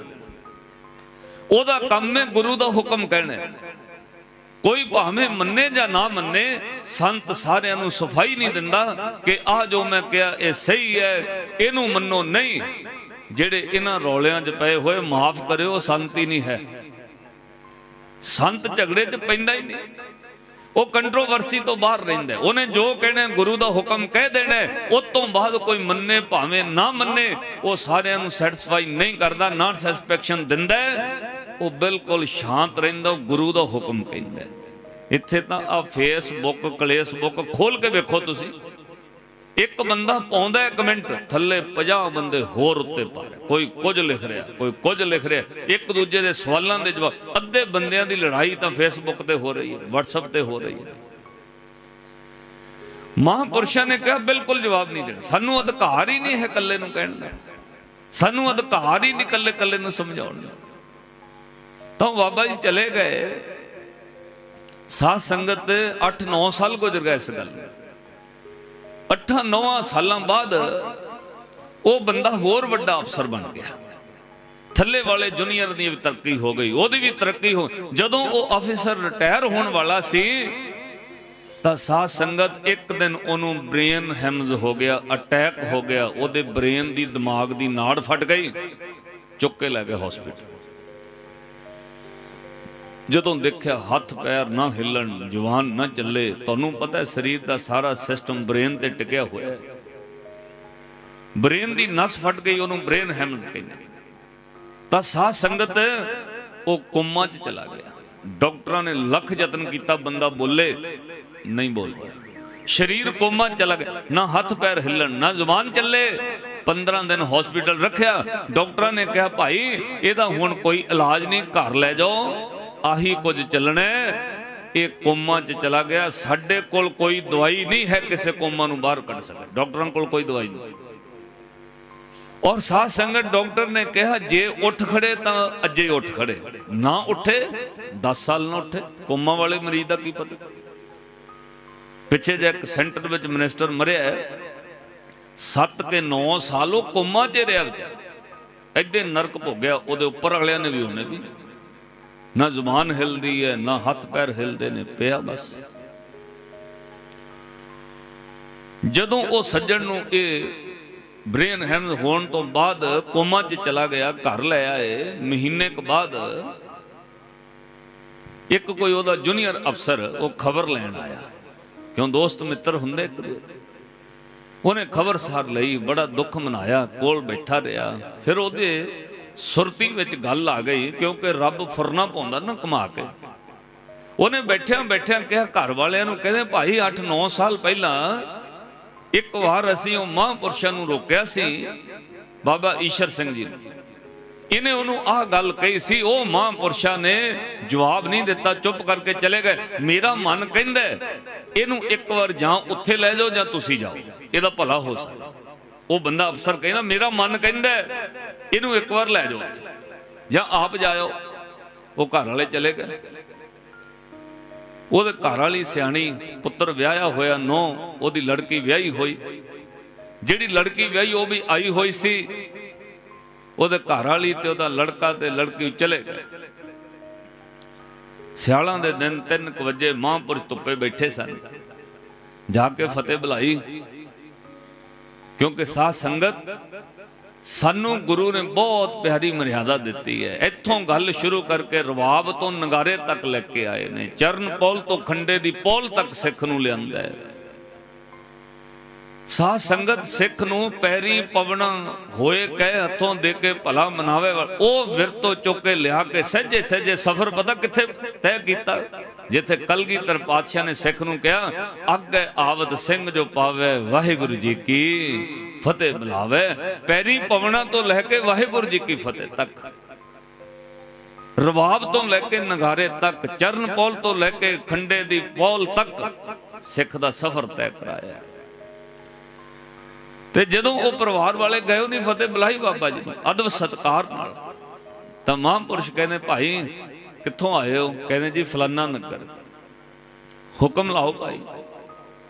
ਕਹਿੰਦੇ, ਬਾਬਾ ਜੀ ਇਦਾਂ ਸਾਡੇ ਪਿੰਡ ਦਾ ਇੱਕੋ ਫਲਾਨਾ ਅਫਸਰ ਸੀ। ਉਹਨੇ ਇੱਕ ਵਾਰ ਤੁਹਾਨੂੰ ਸਵਾਲ ਕੀਤਾ ਸੀ 8-9 ਸਾਲ ਪਹਿਲਾਂ। ਤੇ ਉਹ ਬਿਮਾਰ ਹੋ ਗਿਆ, ਉਹਨੂੰ ਅਟੈਕ ਹੋ ਗਿਆ, ਉਹ ਕੋਮਾ ਵਿੱਚ ਚਲਾ ਗਿਆ। ਭਲਾ ਕਰੋ। ਮਹਾਂਪੁਰਸ਼ ਅੱਗੋਂ ਜਵਾਬ ਪਤਾ ਕੀ ਦਿੰਦੇ? ਕਹਿੰਦੇ, ਭਾਈ, ਸਾਨੂੰ ਕੀ ਪਤਾ ਕੌਣ ਹੈ, ਕਿਹੜੇ ਪਿੰਡ ਦਾ, ਕਿਹਨੇ ਸਵਾਲ ਕੀ? ਸਾਨੂੰ ਤਾਂ ਬਹੁਤ ਲੋਕ ਸਵਾਲ ਕਰਦੇ। ਸਾਨੂੰ ਨਹੀਂ ਯਾਦ ਕੋਈ ਵੀ। ਕਿਹੜੇ ਪਿੰਡ ਦਾ ਕੌਣ ਹੈ? ਸਾਨੂੰ ਕੋਈ ਯਾਦ ਨਹੀਂ ਕਿਹੜਾ ਬੰਦਾ ਕੌਣ ਹੈ, ਕਿਹਨੇ ਕੀ ਸਵਾਲ ਕੀਤਾ ਹਾਂ। ਤੁਸੀਂ ਆਇਓ ਹੁਕਮ ਲਾਓ ਤੁਸੀਂ ਕੀ ਇਹਨੂੰ ਕਹਿੰਦੇ ਨੇ ਸਾਧ ਸੰਤ। ਕਿਉਂਕਿ ਸਾਧੂ ਯਾਦ ਹੀ ਨਹੀਂ ਰੱਖਦਾ। ਨਾ ਉਹ ਨਿੰਦਰ ਨਿੰਦਿਆਂ ਨੂੰ ਯਾਦ ਰੱਖਦਾ ਨਾ ਉਸਤਤ ਨੂੰ ਯਾਦ ਰੱਖਦਾ ਨਾ ਉਹਨੂੰ ਨਿੰਦਕ ਯਾਦ ਨੇ, ਨਾ ਉਸਤਤ ਕਰਨ ਵਾਲੇ ਯਾਦ ਨੇ। ਆਪਣੇ ਮਨਾਂ 'ਚ ਝਾਤ ਮਾਰਿਓ, ਮੇਰੇ ਸਮੇਤ ਮੈਂ ਵੀ ਆਪਣੇ ਤੇ ਵਿਚਾਰ ਕਰ ਰਿਹਾ ਸਾਧ ਸੰਗਤ ਸਾਨੂੰ ਨਿੰਦਕ ਬੰਦੇ ਬਹੁਤ ਚੇਤੇ ਰਹਿੰਦੇ ਨੇ। ਸਾਰਾ ਦਿਨ ਆਪਾਂ ਨਿੰਦਕਾਂ ਦਾ ਸਿਮਰਨ ਕਰੀ ਜਾਈਦਾ। ਜਿਹੜਾ ਕੋਈ ਤੁਹਾਡੀ ਨਿੰਦਿਆ ਕਰੇ ਨਾ, ਉਹਨੂੰ ਜ਼ਿਆਦਾ ਸਿਮਰਨ ਕਰਦੇ ਆ। ਉਹਦੇ ਨਾਲ ਈਰਖਾ। ਤੇ ਜਿਹੜਾ ਬੰਦਾ ਉਸਤਤ ਕਰੇ, ਉਹਨੂੰ ਵੀ ਯਾਦ ਰੱਖੀਦਾ ਉਹ ਮੇਰੀ ਉਸਤਤ ਕਰਦਾ ਉਹਨੂੰ ਨਾਲ ਰੱਖੀਦਾ ਕਿਉਂ? ਆਪਣੇ ਕੰਮ ਜੋ ਸਹੀ ਕਰਾਉਣੇ ਕੰਮ। ਆ ਜਿਹੜੇ ਈਗੋ ਨਾਲ ਭਰੇ ਹੋਏ ਲੋਕ ਤੁਸੀਂ ਵੇਖੋਗੇ, ਕਈਆਂ ਦਾ ਪਹਿਰਾਵਾ ਵੀ ਧਾਰਮਿਕ ਹੈ। ਔਰ ਤੁਸੀਂ ਹੈਰਾਨ ਹੋਵੋਗੇ ਉਹਨੇ ਆਪਣੇ ਨਾਲ ਬੰਦੇ ਤਨਖਾਹ ਤੇ ਰੱਖੇ ਹੋਏ ਆ। ਨੌਕਰੀ। ਤਨਖਾਹ ਤੇ ਬੰਦੇ ਰੱਖੇ ਹੋਏ ਨੇ ਇਸ ਵਾਸਤੇ ਕਿ ਜੋ ਉਹ ਕਰਨ, ਉਹਨੂੰ ਸਹੀ ਕਹਿ ਦੇਣ, ਸਹੀ। ਉਹ ਕਰਕੇ ਪੁੱਛਣਗੇ, ਕਿਉਂ ਮੈਂ ਸਹੀ ਕੀਤਾ? ਉਹ ਵਿਚਾਰੇ ਨੌਕਰੀ ਕਰਦੇ ਨੇ, ਉਹਨਾਂ ਨੌਕਰੀ ਥੋੜੀ ਕੋਣੀ ਉਹ ਕਹਿੰਦੇ, ਵਾਹ ਜੀ ਤੇ ਕਮਾਲ ਹੀ ਕਰਤੀ ਤੁਸੀਂ। ਉਹ ਰੱਖੇ ਹੋਏ ਨੇ। ਵੀ ਜੋ ਅਸੀਂ ਕਰ ਰਹੇ ਉਹਨੂੰ ਸਹੀ ਕਹਿ ਦਿਓ, ਉਹਨੂੰ ਸਹੀ ਕਹਿ ਤਾਂ ਇਹ ਵੱਡੇ ਵੱਡੇ ਬੰਦੇ ਗਲਤ ਕੰਮ ਕਰ ਰਹੇ ਨੇ। ਜੇ ਕਿਤੇ ਇਹਨਾਂ ਨੂੰ ਦੱਸਣ ਵਾਲਾ ਹੋਵੇ, ਇਹ ਸਮਝ ਜਾਣ। ਥੋੜੇ ਬਹੁਤੇ ਮਾਫ ਕਰਿਓ। ਰੋਟੀ ਦੇ ਲਾਲਚ ਵਿੱਚ ਚਾਪਲੂਸ ਬੰਦਿਆਂ ਨੇ ਇਹ ਬਿਰਤੀ ਸਾਰੀ ਵਿਗਾੜ ਕੇ ਰੱਖਦੀ ਦੂਜਿਆਂ ਨੂੰ ਛੱਡੋ ਧਾਰਮਿਕ ਖੇਤਰ ਵਿੱਚ ਬੰਦੇ ਵਿਗੜ ਗਏ ਨੇ। ਜਿਨ੍ਹਾਂ ਲੋਕਾਂ ਧਰਮ ਦਾ ਕੰਮ ਚਲਾਉਣਾ ਉਹ ਗਲਤ ਕਰਕੇ ਥੱਲੇ ਬੰਦੇ ਰੱਖੇ ਨੇ। ਕਹਿ ਦੋ ਸਹੀ ਹੈ। ਉਹ ਕਹਿਣਗੇ ਸਹੀ ਹੈ। ਸਾਧੂ ਨੂੰ ਇਸ ਗੱਲ ਦਾ ਕੋਈ ਵਾਸਤਾ ਨਹੀਂ। ਨਾ ਉਹ ਨਿੰਦਿਆ ਚੇਤੇ ਰੱਖਦਾ ਨਾ ਉਸਤਤ ਚੇਤੇ ਰੱਖਦਾ ਇਹਨੂੰ ਸੰਤ ਕਹਿੰਦੇ ਨੇ। ਨਾ ਉਹਨੂੰ ਨਿੰਦਕ ਯਾਦ ਹੈ, ਨਾ ਵਡਿਆਈ ਵਾਲੇ ਯਾਦ ਨੇ। ਦੋਵੇਂ ਚੀਜ਼ਾਂ ਛੱਡ ਦਿੰਦਾ ਪਰ ਇਹ ਬਹੁਤ ਔਖਾ ਹੈ। ਸਾਡੇ ਅਜੇ ਵਸ ਦੀ ਗੱਲ ਨਹੀਂ। ਅਰਦਾਸ ਕਰਿਓ ਆਪਾਂ ਗੁਰਮੁਖ ਬਣ ਜਾਈਏ। ਜਿਹੜਾ ਛੱਡ ਦਵੇ ਨਾ ਇਹ ਚੀਜ਼, ਉਹਨੂੰ ਗੁਰਮੁਖ ਕਿਹਾ ਗੁਰਮੁਖ। ਇੱਥੇ ਆਪਾਂ ਸਾਰਿਆਂ ਨੂੰ ਗੁਰਮੁਖ ਕਹਿੰਦੇ ਆ। ਸਭ ਨੂੰ ਕਹੀਦਾ। ਪਰ ਗੁਰਮੁਖ ਦੀ ਨਿਸ਼ਾਨੀ ਨਾ ਉਹਨੂੰ ਨਿੰਦਿਆ ਯਾਦ, ਨਾ ਉਹਨੂੰ ਉਸਤਤ ਯਾਦ, ਨਾ ਨਿੰਦਕ ਨਾਲ ਕੋਈ ਵਾਸਤਾ, ਨਾ ਉਸਤਤ ਵਾਲੇ ਨਾਲ ਵਾਸਤਾ, ਨਾ ਉਹਦੇ ਉੱਤੇ ਵਡਿਆਈ ਦਾ ਅਸਰ, ਨਾ ਨਿੰਦਿਆ ਦਾ ਅਸਰ। ਕਰੀ ਜਾਣ ਲੋਕ ਨਿੰਦਿਆ, ਕੋਈ ਅਸਰ ਨਹੀਂ। ਕਰਨ ਵਡਿਆਈ ਉਹਦੀ, ਕੋਈ ਅਸਰ ਨਹੀਂ। ਮਹਾਰਾਜ ਦੇ ਬਚਨ ਪੜੋ ਸਤਿਗੁਰਾਂ ਕਿਹਾ, ਇਹ ਗੁਰਮੁਖ ਹੈ। ਕੌਣ ਜੀ? ਗੁਰੂ ਤੇਗ ਬਹਾਦਰ ਮਹਾਰਾਜ ਕਹਿੰਦੇ ਉਸਤਤ ਨਿੰਦਾ ਦੋ ਤਿਆਗੈ ਦੋਵੇਂ ਤਿਆਗਤੀ ਉਸਤਤ ਨਿੰਦਾ ਦੋ ਤਿਆਗੈ ਖੋਜੈ ਪਦ ਨਿਰਵਨ। ਜਨ ਨਾਨਕ ਖੇਲ ਕਠਨ ਹੈ ਕਿਨਹੂ ਗੁਰਮੁਖ ਜਨਾ। ਇਹਨੂੰ ਮਹਾਰਾਜ ਨੇ ਕਿਹਾ, ਜੋ ਨਰ ਦੁਖ ਮੈਂ ਦੁਖ ਨਹੀਂ ਮੰਨ। ਸੁਖ ਸਨੇਹਰ ਭੈ ਨਹੀਂ ਜਾ ਕੇ ਕੰਚਨ ਮੱਟੀ ਮਨ ਨੈ ਨਿੰਦਿਆ, ਨੈ ਉਸਤਤ ਜਾ ਕੇ ਲੋਭ ਮੋਹ ਅਭਿਮਨ ਹਰ ਖਸੋਗ ਤੇ ਰਹਿ ਨਿਆਰੋ, ਤਿੰਨ ਜਗ ਤਤ ਪਛਨ। ਤਾਂ ਬਾਬਾ ਈਸ਼ਰ ਸਿੰਘ ਜੀ ਕਹਿੰਦੇ, ਭਾਈ ਸਾਨੂੰ ਨਹੀਂ ਯਾਦ ਕਿਨੇ ਸਵਾਲ ਕੀਤਾ, ਕੌਣ ਕਰਦਾ, ਕਿਹੜੇ ਪਿੰਡ ਦਾ? ਸਾਨੂੰ ਨਹੀਂ ਕੋਈ ਯਾਦ। ਹਾਂ, ਤੁਸੀਂ ਆਏ ਹੋ, ਹੁਕਮ ਲਾਓ ਭਾਈ, ਹੁਕਮ। ਦੇਖੋ ਸੰਗਤ ਦਾ ਸਤਕਾਰ। ਉਹ ਪਰਿਵਾਰ ਵਾਲੇ ਕਹਿੰਦੇ, ਬਾਬਾ ਜੀ, ਕੋਮਾ ਚਲਾ ਗਿਆ, ਇਦਾਂ ਬੰਦਾ ਡਾਕਟਰ ਕਹਿੰਦੇ, ਉੱਠ ਖੜੇ, ਅੱਜ ਉੱਠ ਖੜੇ, ਨਾ ਉੱਠੇ, ਤਾਂ 10 ਸਾਲ ਨਾ ਉੱਠੇ। ਕਹਿੰਦੇ, ਭਲਾ ਕਰ ਦਿਓ ਉਹਦਾ ਜੀ। ਅੱਗੋਂ ਬਾਬਾ ਜੀ ਕਹਿੰਦੇ, ਅਸੀਂ ਕੌਣ ਹੁੰਨੇ ਠੀਕ ਕਰਨ ਵਾਲੇ? ਕਹਿੰਦੇ ਜੀ, ਉਹ ਠੀਕ ਕਰ ਦਿਓ ਉਹਨੂੰ। ਕਹਿੰਦੇ, ਅਸੀਂ ਕੌਣ ਹੁੰਨੇ ਠੀਕ ਕਰਨ ਵਾਲੇ? ਠੀਕ ਤਾਂ ਭਾਈ ਵਾਹਿਗੁਰੂ ਨੇ ਕਰਨਾ। ਅਸੀਂ ਕੌਣ ਠੀਕ ਕਰਨ ਵਾਲੇ? ਵਾਹਿਗੁਰੂ ਠੀਕ ਕਰਦੇ ਨੇ। ਤਾਂ ਮਹਾਂਪੁਰਸ਼ਾਂ ਨੇ ਤਰਸ ਵਿੱਚ ਆ ਕੇ ਆਪਣਾ ਇੱਕ ਸਿਮਰਨਾ ਸੀ ਉਹਨਾਂ ਦੇ ਹੱਥ 'ਚ ਮਾਲਾ। ਉਹ ਦੇ ਕੇ ਕਹਿੰਦੇ ਆ ਲੈ ਜਾਓ। ਉਹਦੇ ਕੋਲ ਬਹਿ ਕੇ ਨਾ ਸਿਮਰਨ ਕਰੋ, ਸਿਮਰਨ। ਵਾਹਿਗੁਰੂ ਨੇ ਠੀਕ ਕਰਨਾ, ਜਿਹਨੂੰ ਕਰਨਾ ਸੀ ਕੌਣ ਹੁੰਨੇ ਸੰਤ ਆਪਣੇ ਸਿਰ ਤੇ ਜ਼ਿੰਮੇਵਾਰੀ ਨਹੀਂ ਲੈਂਦਾ। ਉਹ ਸਿਫਾਰਸ਼ ਜਾਮਣੀ ਪਾ ਵੀ ਦਿੰਦਾ ਪਰ ਦੱਸਦਾ ਨਹੀਂ ਮੈਂ ਕੀਤਾ ਸਿੱਧਾ ਗੁਰੂ ਨਾਲ ਜੋੜਦਾ ਇਹ ਸਾਧੂ ਦੀ ਵਡਿਆਈ ਹੈ। ਮਹਾਂਪੁਰਸ਼ਾਂ ਕਿਹਾ, ਵਾਹਿਗੁਰੂ ਨੇ ਕਰਨਾ ਠੀਕ। ਲੈ ਸਿਮਰਨ। ਤੇ ਨਾਲ ਇੱਕ ਗੱਲ ਕਹੀ, ਕਹਿੰਦੇ ਜਿਹਨੇ ਸਿਮਰਨ ਕਰਨਾ ਭਾਈ, ਕੇਸੀ ਇਸ਼ਨਾਨ ਕਰਕੇ ਬੈਠਿਓ।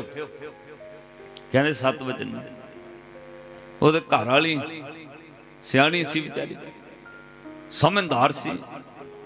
ਉਹਨੇ ਆ ਕੇ ਉਸੇ ਵਕਤ ਸਿਮਰਨ ਸ਼ੁਰੂ ਕਰਤਾ, ਕਿਸੇ ਇਸ਼ਨਾਨ ਕਰਕੇ ਸਰਾਣੇ ਬਹਿ ਗਈ। ਵਾਹਿਗੁਰੂ ਵਾਹਿਗੁਰੂ ਜਪਣ ਲੱਗ ਪਈ ਘੰਟਾ, ਡੇਢ ਘੰਟਾ, ਪੌਣੇ 2 ਘੰਟੇ ਲੰਘ ਗਏ, ਫਿਰ ਉਹਦਾ ਲੜਕਾ ਅੱਧਾ ਘੰਟਾ ਬਹਿ ਗਿਆ। ਫਿਰ ਉਹਦੀ ਲੜਕੀ ਜਿਹੜੀ ਵਿਆਹੀ ਹੋਈ ਸੀ, ਉਹ ਆਈ ਸੀ। ਉਹਨੇ ਘੰਟਾ ਡੇਢ ਸਿਮਰਨ ਕੀਤਾ, ਅੱਧਾ ਕ ਘੰਟਾ ਪੌਣਾ ਘੰਟਾ ਉਹਦੀ ਨੌ ਨੇ ਵੀ ਸਿਮਰਨ ਕੀਤਾ। ਇੱਕ ਜਣਾ ਉੱਠ ਖੜੇ, ਦੂਜਾ ਬਹਿ ਜਾਏ। ਲਗਾਤਾਰ ਉਹਨੇ ਵਾਹਿਗੁਰੂ ਸਿਮਰਨ ਸ਼ੁਰੂ ਕਰ ਸਾਧ ਸੰਗਤ ਤੁਸੀਂ ਹੈਰਾਨ ਹੋਵੋਗੇ। ਕੌਣ ਕਹਿੰਦਾ ਵਾਹਿਗੁਰੂ ਸ਼ਬਦ ਵਿੱਚ ਕੁਝ ਵੀ ਨਹੀਂ। ਕੌਣ ਕਹਿੰਦਾ ਨਾਮ ਵਿੱਚ ਤਾਕਤ ਨਹੀਂ। ਇਹ ਗੱਲ ਸੱਚ ਹੈ, ਜਿੱਥੇ ਪੈਸਾ, ਪੁੱਤਰ, ਧੀਆਂ ਕੰਮ ਨਾ ਆਉਣ, ਉੱਥੇ ਵਾਹਿਗੁਰੂ ਦਾ ਸ਼ਬਦ ਕਰਾ ਮਾਤ ਵਰਤਾਉਂਦਾ ਸਿਮਰਨ ਚੱਲਦਾ ਰਿਹਾ। ਜਿਹਨੂੰ ਡਾਕਟਰ ਕਹਿੰਦੇ ਸੀ, ਉੱਠੇ ਨਾ ਤਾਂ 10 ਸਾਲ ਨਾ ਉੱਠੇ ਕੋਮਾ ਚੋਂ। ਅੰਮ੍ਰਿਤ ਵੇਲੇ ਪਹਿਲਾ ਪੈਰ 2:30 ਵਜੇ। ਘਰ ਵਾਲੀ ਉਹਦੀ ਸਿਮਰਨ ਕਰੇ, ਵਾਹਿਗੁਰੂ ਵਾਹਿਗੁਰੂ। ਉਹ ਬੰਦਾ ਕੋਮਾ ਚੋਂ ਬਾਹਰ ਆ ਗਿਆ, ਬੋਲਿਆ, ਪਤਾ ਕੀ? ਵਾਹਿਗੁਰੂ ਵਾਹਿਗੁਰੂ। ਜਿਹਨੂੰ ਕਿਹਾ 10 ਸਾਲ ਵਾਰ ਨਹੀਂ ਆਉਣਾ ਕੋਮਾ ਚੋਂ, ਕੋਮਾ ਤੋਂ ਟੁੱਟ ਗਿਆ ਜੈ ਮਾਤ ਪਿਤਾ ਸੁਤ ਮੀਤ ਨ ਭਾਈ, ਮਨੁਹਾ ਨਾਮ ਤੇਰੇ ਸੰਗ ਸਹਾਈ। ਪੜੋ ਜੈ ਮਹਾ ਭਿਆਨ ਦੂਤ ਜਮੰਦਲੈ ਤੈ ਕੇਵਲ ਨਾਮ ਸੰਗ ਤੇਰੇ ਚਲੈ। ਜੈ ਮੁਸ਼ਕਲ ਹੋਵੇ ਅਤ ਭਾਰੀ, ਹਰ ਕੋ ਨਾਮ ਖਿਨ ਮਹੇ ਉਧਾਰੀ। ਤੇ ਹੁਣ ਨਾਲ ਮਹਾਰਾਜ ਨੇ ਇੱਕ ਗੱਲ ਹੋਰ ਕਹੀ ਹੈ। ਇਹ ਤਾਂ ਠੀਕ ਹੈ, ਬਾਣੀ ਤੇ ਸਿਮਰਨ ਸਾਡੇ ਦੁੱਖ ਕੱਟਣਗੇ। ਪਰ ਅੱਗੇ ਫਿਰ ਗੁਰੂ ਗ੍ਰੰਥ ਸਾਹਿਬ ਮਹਾਰਾਜ ਜੀ ਨੇ ਪੂਰਾ ਧਰਮ ਦਿੱਤਾ, ਪੂਰਾ ਲੋਕਾਂ ਨੂੰ। ਜਿਹੜੀ ਗੱਲ ਅਸੀਂ ਗਲਤ ਤਰੀਕੇ ਨਾਲ ਕਹਿਣ ਲੱਗ ਪਏ ਜਿਹਦਾ ਪ੍ਰਚਾਰ ਥੋੜਾ ਰੋਂਗ ਤਰੀਕੇ ਨਾਲ ਹੋਇਆ ਸਿੱਖ ਧਰਮ ਵਿੱਚ। ਅੱਗੇ ਮਹਾਰਾਜ ਨੇ ਕਿਹਾ, ਇਹ ਅੱਧੀ ਗੱਲ ਹੈ ਭਾਈ ਕਿ ਬਾਣੀ ਪੜਨ ਨਾਲ, ਬਾਣੀ ਸੁਣਨ ਨਾਲ, ਵਾਹਿਗੁਰੂ ਜਪਣ ਨਾਲ ਦੁੱਖ, ਰੋਗ, ਸੰਤਾਪ ਮਿਟਦੇ ਨੇ। ਜਿੱਥੇ ਕੋਈ ਸਹਾਈ ਨਾ ਹੋਵੇ, ਉੱਥੇ ਨਾਮ ਸਹਾਈ ਹੁੰਦਾ ਹੈ। ਇਹਨੂੰ ਮਹਾਰਾਜ ਨੇ ਬਾਣੀ 'ਚ ਕਿਹਾ, ਅੱਧੀ ਗੱਲ ਹੈ ਭਾਈ, ਇਹ, ਇਹਨੂੰ ਪੂਰੀ ਕਰੋ। ਇਹ ਅੱਧਾ ਧਰਮ ਹੈ। ਮਹਾਰਾਜ, ਪੂਰਾ ਕਿਵੇਂ? ਕਹਿੰਦੇ ਪੂਰਾ ਇਸ ਗੱਲ ਨਾਲ ਹੋਣਾ ਕੱਲਾ ਬਾਣੀ ਨਾ ਪੜ ਕੱਲਾ ਨਾਮ ਨਾ ਜਪ। ਸਿੱਖਾ 24 ਘੰਟੇ ਜੋ ਕਰ ਰਹੇ ਹੋ ਉਹ ਉਹਦੇ ਤੇ ਧਿਆਨ ਰੱਖੋ, ਸਹੀ ਕਰ। ਉਹ ਚ ਬੇਈਮਾਨੀ ਨਾ ਕਰ। ਉਹ ਚ ਫਰਾਡ ਨਾ ਹੋਵੇ ਉਹ ਚ ਧੋਖਾ ਨਾ ਹੋਵੇ ਉਹ ਚ ਇੱਕ ਦੂਜੇ ਨਾਲ ਈਰਖਾ, ਦਵੈਸ਼, ਕਾਮ, ਕ੍ਰੋਧ, ਲੋਮੋ, ਅਹੰਕਾਰ, ਬੇਵਫਾਈ, ਇਹ ਚੀਜ਼ਾਂ ਨਾ ਹੋਣ, ਬੇਈਮਾਨੀ ਛੱਡਣੀ ਪਏਗੀ, ਕਰਮ ਸਹੀ ਕਰ 24 ਘੰਟਿਆਂ 'ਚ। ਕਿਸੇ ਦੀ ਖੁਸ਼ੀ ਵਿੱਚ ਖੁਸ਼ ਹੋ, ਕਿਸੇ ਦਾ ਦੁੱਖ ਵੇਖ ਕੇ ਦੁਖੀ ਹੋਣਾ ਚਾਹੀਦਾ ਇਹ ਨਾ ਹੋਵੇ ਤੇਰੀ ਖੁਸ਼ੀ ਕਿਸੇ ਦੇ ਦੁੱਖ ਤੇ ਟਿਕੀ ਹੋਵੇ, ਅੱਜ ਬੰਦਾ ਆਪਣੇ ਦੁੱਖਾਂ ਤੋਂ ਘੱਟ ਦੁਖੀ ਹੈ, ਗਵੰਡੀ ਦੇ ਸੁੱਖਾਂ ਤੋਂ ਦੁਖੀ ਹੋਈ ਜਾਂਦਾ ਹੈ। ਆਪਣਾ ਝਾੜ ਭਾਵੇਂ 20 ਕੁਇੰਟਲ ਨਿਕਲਿਆ ਹੋਵੇ ਗਵੰਡੀ ਨੂੰ ਜ਼ਰੂਰ ਪੁੱਛੀਦਾ, ਤੇਰਾ ਕਿੰਨਾ ਕੁ ਹੋਇਆ ਜੇ ਉਹ ਦੋ ਵੱਧ ਦੱਸਦੇ ਨਾ ਫਿਰ ਹਾਲਤ ਵੇਖੋ ਕੀ ਹੈ। ਜੇ ਉਹ ਦੋ ਵੱਧ ਦੱਸਦਾ ਨਾ ਮੇਰਾ ਤਾਂ ਖੇਤ ਵਿੱਚ ਕਿੱਲੇ ਦੇ ਮਗਰ ਇੰਨਾ ਨਿਕਲਿਆ 2 ਕੁਇੰਟਲ ਵੱਧ ਕਹਿਦਾ ਬਸ ਫਿਰ ਪਤਾ ਨਹੀਂ, ਇਹਨੇ ਪਤਾ ਨਹੀਂ ਕੀ ਪਾਇਆ, ਇਹਦਾ ਪਤਾ ਨਹੀਂ ਕੀ ਹੋਇਆ। ਗੁਰੂ ਨੇ ਕਿਹਾ, ਇਹ ਚੀਜ਼ਾਂ ਛੱਡਣੀਆਂ ਪੈਣੀਆਂ ਤੈਨੂੰ। ਆਪਣਾ ਵਿਵਹਾਰ ਸਹੀ ਕਰ, ਇਹੀ ਆਚਾਰ, ਇਹੀ ਵਿਵਹਾਰਾ। ਆਗਿਆ ਮਾਨ, ਭਗਤ ਹੋਏ ਤੁਮਾਰੀ, ਇਹ ਭਗਤੀ ਹੈ ਭਾਈ, ਵਿਵਹਾਰ ਸਹੀ ਕਰੋ। ਜਿਹੜਾ ਧੋਖਾ ਬੇਈਮਾਨੀ ਜੋ ਤੂੰ 24 ਘੰਟਿਆਂ ਵਿੱਚ ਗਲਤ ਸੁਣਿਆ, ਉਹਨੂੰ ਡਿਲੀਟ ਕਰ ਅਗਲੇ 24 ਘੰਟਿਆਂ 'ਚ। ਜੋ ਤੂੰ ਅੱਖਾਂ ਨਾਲ 24 ਘੰਟਿਆਂ 'ਚ ਗਲਤ ਵੇਖਿਆ, ਉਹਨੂੰ ਅਗਲੇ 24 ਘੰਟਿਆਂ 'ਚ ਸਹੀ ਕਰ। ਜੋ ਤੂੰ ਕਿਸੇ ਨੂੰ ਗਲਤ ਬੋਲਿਆ, ਦਿਲ ਦੁਖਾਇਆ, ਕੋਈ ਕੌੜਾ ਬੋਲਿਆ, ਕੋਈ ਝੂਠ ਬੋਲਿਆ, ਅਗਲੇ 24 ਘੰਟਿਆਂ 'ਚ ਸਹੀ ਕਰ, ਜੇ ਸਹੀ ਨਾ ਕੀਤਾ, ਸਹਿਜੇ ਸਹਿਜੇ ਮਨ ਮੈਲਾ ਪੱਪੀ ਹੋ ਜਾਏਗਾ। ਉਹ ਭਲਿਆ, ਇਹ ਪਾਪਾਂ ਨੇ ਤੈਨੂੰ ਡੋਬ ਲੈਣਾ ਫਿਰ ਕਿਸੇ ਧਰਮ ਦਾ ਪਹਿਰਾਵਾ ਜਾਂ ਪਾਠ ਤੈਨੂੰ ਤਾਰ ਨਹੀਂ ਸਕਦਾ।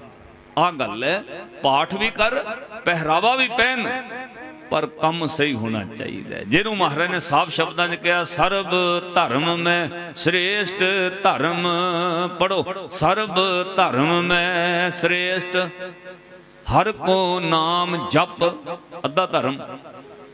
ਨਾਮ ਨਾ ਕੱਲਾ ਜਪੀ ਫਿਰ, ਅੱਗੇ ਤੁਰ। ਜਿਹੜੇ ਕਹਿੰਦੇ ਜਪਣ ਦਾ ਫਾਇਦਾ ਨਹੀਂ, ਉਹ ਗਲਤ ਹੈ। ਜਪਣ ਤੋਂ ਬਾਅਦ ਆ ਕਰਨਾ ਹੈ। ਹਰ ਕੋ ਨਾਮ ਜਪ, ਨਿਰਮਲ ਕਰਮ ਕਰਮ ਚੰਗੇ ਕਰ। ਫਿਰ ਤੂੰ ਜਦੋਂ ਕਰਮ ਚੰਗੇ ਕਰੇਗਾ, ਇਹ ਧਰਮ, ਇਹ ਪਾਠ ਤੈਨੂੰ ਰੱਬ ਤੱਕ ਪਹੁੰਚਾ ਦੇਗਾ। ਇਹ ਪਹਿਰਾਵਾ ਤੈਨੂੰ ਪਰਮਾਤਮਾ ਤੱਕ ਲੈ ਜਾਏਗਾ। ਧੰਨ ਸਤਿਗੁਰੂ ਗੁਰੂ ਗੋਬਿੰਦ ਸਿੰਘ ਮਹਾਰਾਜ, ਕਲਗੀਧਰ ਦਸ਼ਮੇਸ਼ ਪਿਤਾ, ਹਜੂਰ ਦੇ ਚਰਨਾਂ ਵਿੱਚ ਕਹਿਲੂਰੀਆ ਰਾਜਾ ਆਉਂਦਾ ਭੀਮ ਚੰਦ। ਮਹਾਰਾਜ ਦੇ ਘਰ ਦੀ ਸ਼ਾਨੋ ਸ਼ੌਕਤ ਉਹਨੇ ਵੇਖੀ, ਸਵਾ ਲੱਖ ਦਾ ਪ੍ਰਸ਼ਾਦੀ ਹੱਥੀ, ਚੰਦਨ ਦੀ ਚੌਂਕੀ, ਧੰਨ ਗੁਰੂ ਗੋਬਿੰਦ ਸਿੰਘ ਮਹਾਰਾਜ ਦੇ ਸੀਸ ਉੱਤੇ ਚੌਰ ਝੁਲਦਾ ਤੇ ਕਲਗੀਧਰ ਪਾਤਸ਼ਾਹ ਨੂੰ ਕਹਿੰਦਾ, ਮਹਾਰਾਜ, ਮੈਂ ਵੀ ਰਾਜਾ ਆ ਕਹਿਲੂਰ ਦਾ। ਸਤਿਗੁਰਾਂ ਕਹਿ, ਜੀ ਆਇਆ ਨੂੰ। ਕਹਿੰਦਾ, ਮਹਾਰਾਜ, ਰਾਜੇ ਰਾਜਿਆਂ ਕੋਲੋਂ ਮੰਗੀ ਲੈਂਦੇ, ਚੀਜ਼ਾਂ ਉਧਾਰੀਆਂ। ਹੇ ਗੁਰੂ ਗੋਬਿੰਦ ਸਿੰਘ ਮਹਾਰਾਜ, ਮੈਨੂੰ ਆਪਣਾ ਹਾਥੀ ਦੇ ਦਿਓ। ਆ ਚੰਦਨ ਦੀ ਚੌਂਕੀ ਪੰਜ ਕਲਾ ਸ਼ਾਸਤਰ ਥੋੜੇ ਦਿਨਾਂ ਲਈ।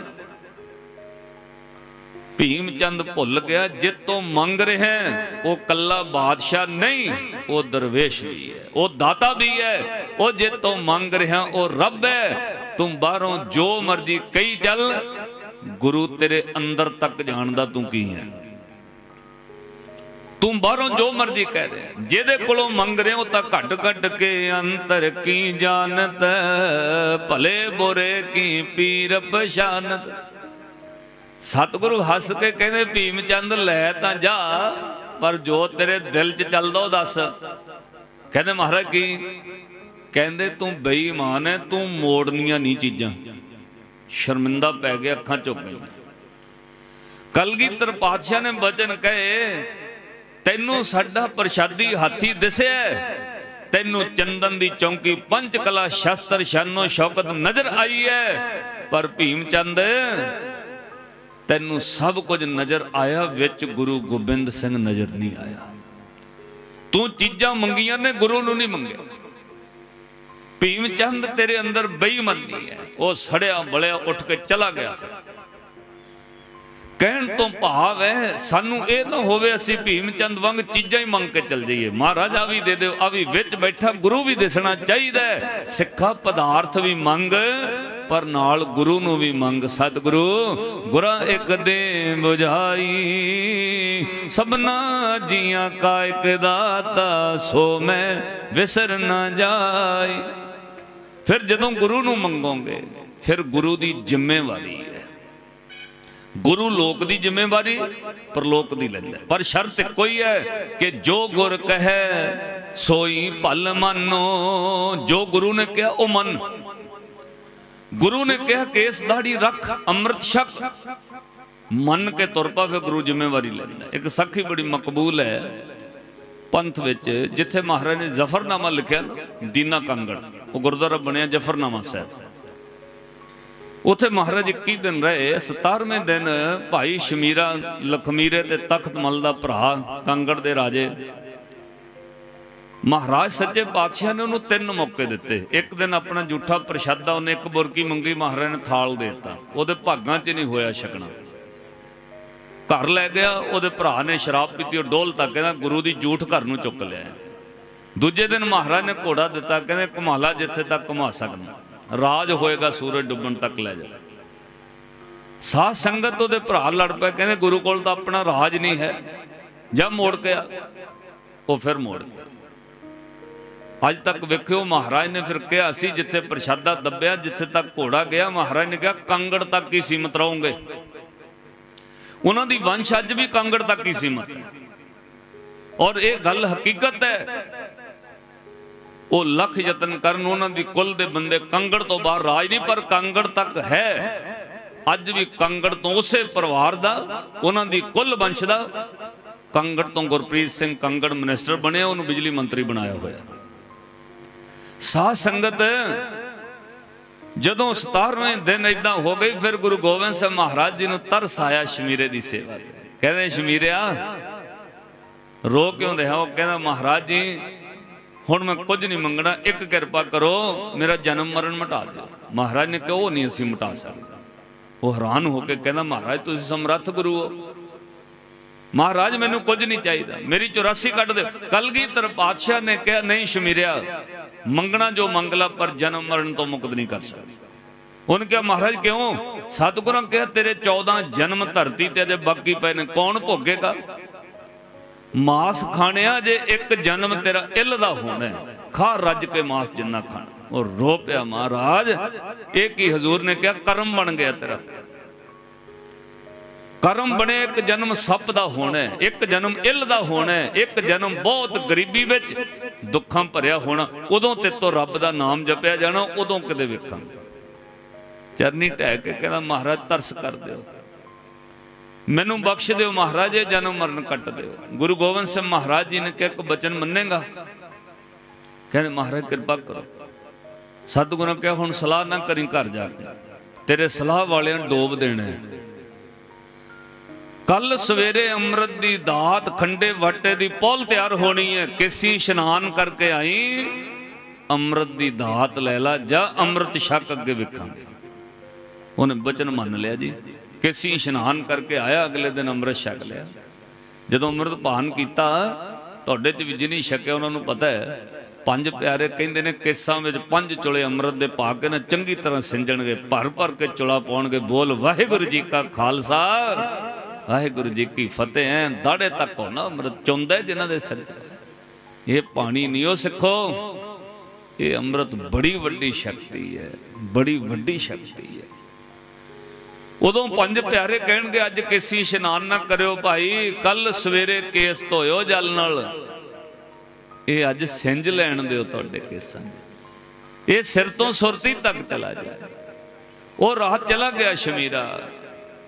ਉਹਨੂੰ ਸਾਰੀ ਰਾਤ ਜਦੋਂ ਨੀਂਦ ਪਵੇ, ਭਿਆਨਕ ਸੁਪਨਾ ਆ ਜਾਏ, ਡਰਾਉਣਾ ਸੁਪਨਾ ਆ ਜਾਏ। ਡਰ ਡਰ ਕੇ ਉੱਠ। ਅੰਮ੍ਰਿਤ ਵੇਲੇ ਉੱਠਿਆ, ਸਿਮਰਨ ਕੀਤਾ, ਘੜੇ ਦਾ ਜਲ ਛਕਿਆ। ਇਸ਼ਨਾਨ ਕਰਕੇ ਮਹਾਰਾਜ ਚਰਨਾਂ 'ਚ ਕੰਗੜ ਆ ਗਿਆ। ਸੇਵਾ ਕੀਤੀ। ਜਦੋਂ ਮਹਾਰਾਜ ਚੱਲਣ ਲੱਗੇ, ਸ਼ਮੀਰਾ ਮਹਾਰਾਜ ਦੇ ਚਰਨਾਂ 'ਚ ਹੱਥ ਜੋੜ ਕੇ ਸਿਰ ਝੁਕਾ ਕੇ ਖੜਾ, ਸੰਗਤ ਸਾਰੀ ਖੜੀ, ਰੋ ਪਿਆ। ਮਹਾਰਾਜ ਨੇ ਕਿਹਾ, ਕਿਉਂ ਰੋ ਰਹੇ? ਕਹਿੰਦਾ, ਮਹਾਰਾਜ, ਪਤਾ ਨਹੀਂ ਜ਼ਿੰਦਗੀ ਫਿਰ ਤੁਹਾਡੇ ਦਰਸ਼ਨ ਹੋਣ ਨਾ ਹੋਣ, ਉਮਰ ਮਹਾਰਾਜ ਪਤਾ ਨਹੀਂ ਕਿੰਨੀ ਕੁ ਬਾਕੀ ਹੈ। ਪਾਤਸ਼ਾਹ, ਮੇਰਾ ਜਨਮ ਮਰਨ ਕੱਟ ਦਿਓ। ਮੈਨੂੰ 14 ਜਨਮਾਂ ਦਾ ਡਰ ਲੱਗਦਾ ਹੈ। ਕਲਗੀਧਰ ਪਾਤਸ਼ਾਹ ਮੁਸਕਰਾ ਕੇ ਪਿਆਰ ਵਿੱਚ ਬੋਲੇ, ਕਿਹੜੇ 14 ਜਨਮ? ਕਹਿੰਦੇ, ਮਹਾਰਾਜ, ਜਿਹੜੇ ਤੁਸੀਂ ਪਰਸੋਂ ਕਹਿੰਦੇ ਸੀ। ਸਤਿਗੁਰਾਂ ਕਿਹਾ, ਸ਼ਮੀਰਿਆ, ਸੱਚੋ ਸੱਚ ਦੱਸ, ਅੰਮ੍ਰਿਤ ਛਕ ਕੇ ਗਏ ਕੱਲ ਰਾਤੀ ਤੈਨੂੰ ਡਰਾਉਣੇ ਸੁਪਨੇ ਆਏ। ਉਹ ਡਰ ਗਿਆ, ਕਹਿੰਦਾ, ਮਹਾਰਾਜ, ਤੁਹਾਨੂੰ ਕਿਵੇਂ ਪਤਾ? ਫਿਰ ਮਨ ਭਰ ਆਇਆ, ਤੂੰ ਤੇ ਅੰਤਰਜਾਮੀ ਹੈ ਸਤਿਗੁਰੂ ਮੈਂ ਕਿਵੇਂ ਪੁੱਛ ਬੈਠਾ? ਚਰਨੀ ਟਹਿ ਪਿਆ, ਮਹਾਰਾਜ, ਬੜੇ ਡਰਾਉਣੇ ਸੁਪਨੇ ਆਏ। ਬੜੇ ਡਰਾਉਣੇ ਸੁਪਨੇ ਆਏ। ਸਤਿਗੁਰੂ ਮੁਸਕਰਾ ਕੇ ਕਹਿੰਦੇ, ਬਸ ਸ਼ਮੀਰਿਆ, ਤੂੰ ਸਾਡਾ ਬਚਨ ਮੰਨ ਕੇ ਅੰਮ੍ਰਿਤ ਛਕਿਆ ਰਾਤੀ ਸੁਪਨੇ ਵਿੱਚ ਤੇਰੇ 14 ਦੇ 14 ਜਨਮ ਕੱਟ ਦਿੱਤੇ। ਐਸਾ ਗੁਰੂ ਹੈ ਸਾਡਾ। ਜਨਮਾਂ ਜਨਮਾਂ ਦੇ ਦੁੱਖ ਸੁਪਨੇ 'ਚ ਕੱਟੇ ਜਾਂਦੇ ਨੇ।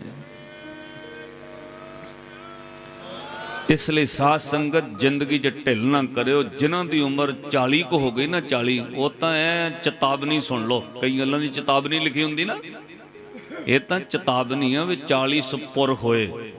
ਤਰ ਸਹਿਬ ਪੂਰੀ ਉਮਰ ਹੋ ਗਈ।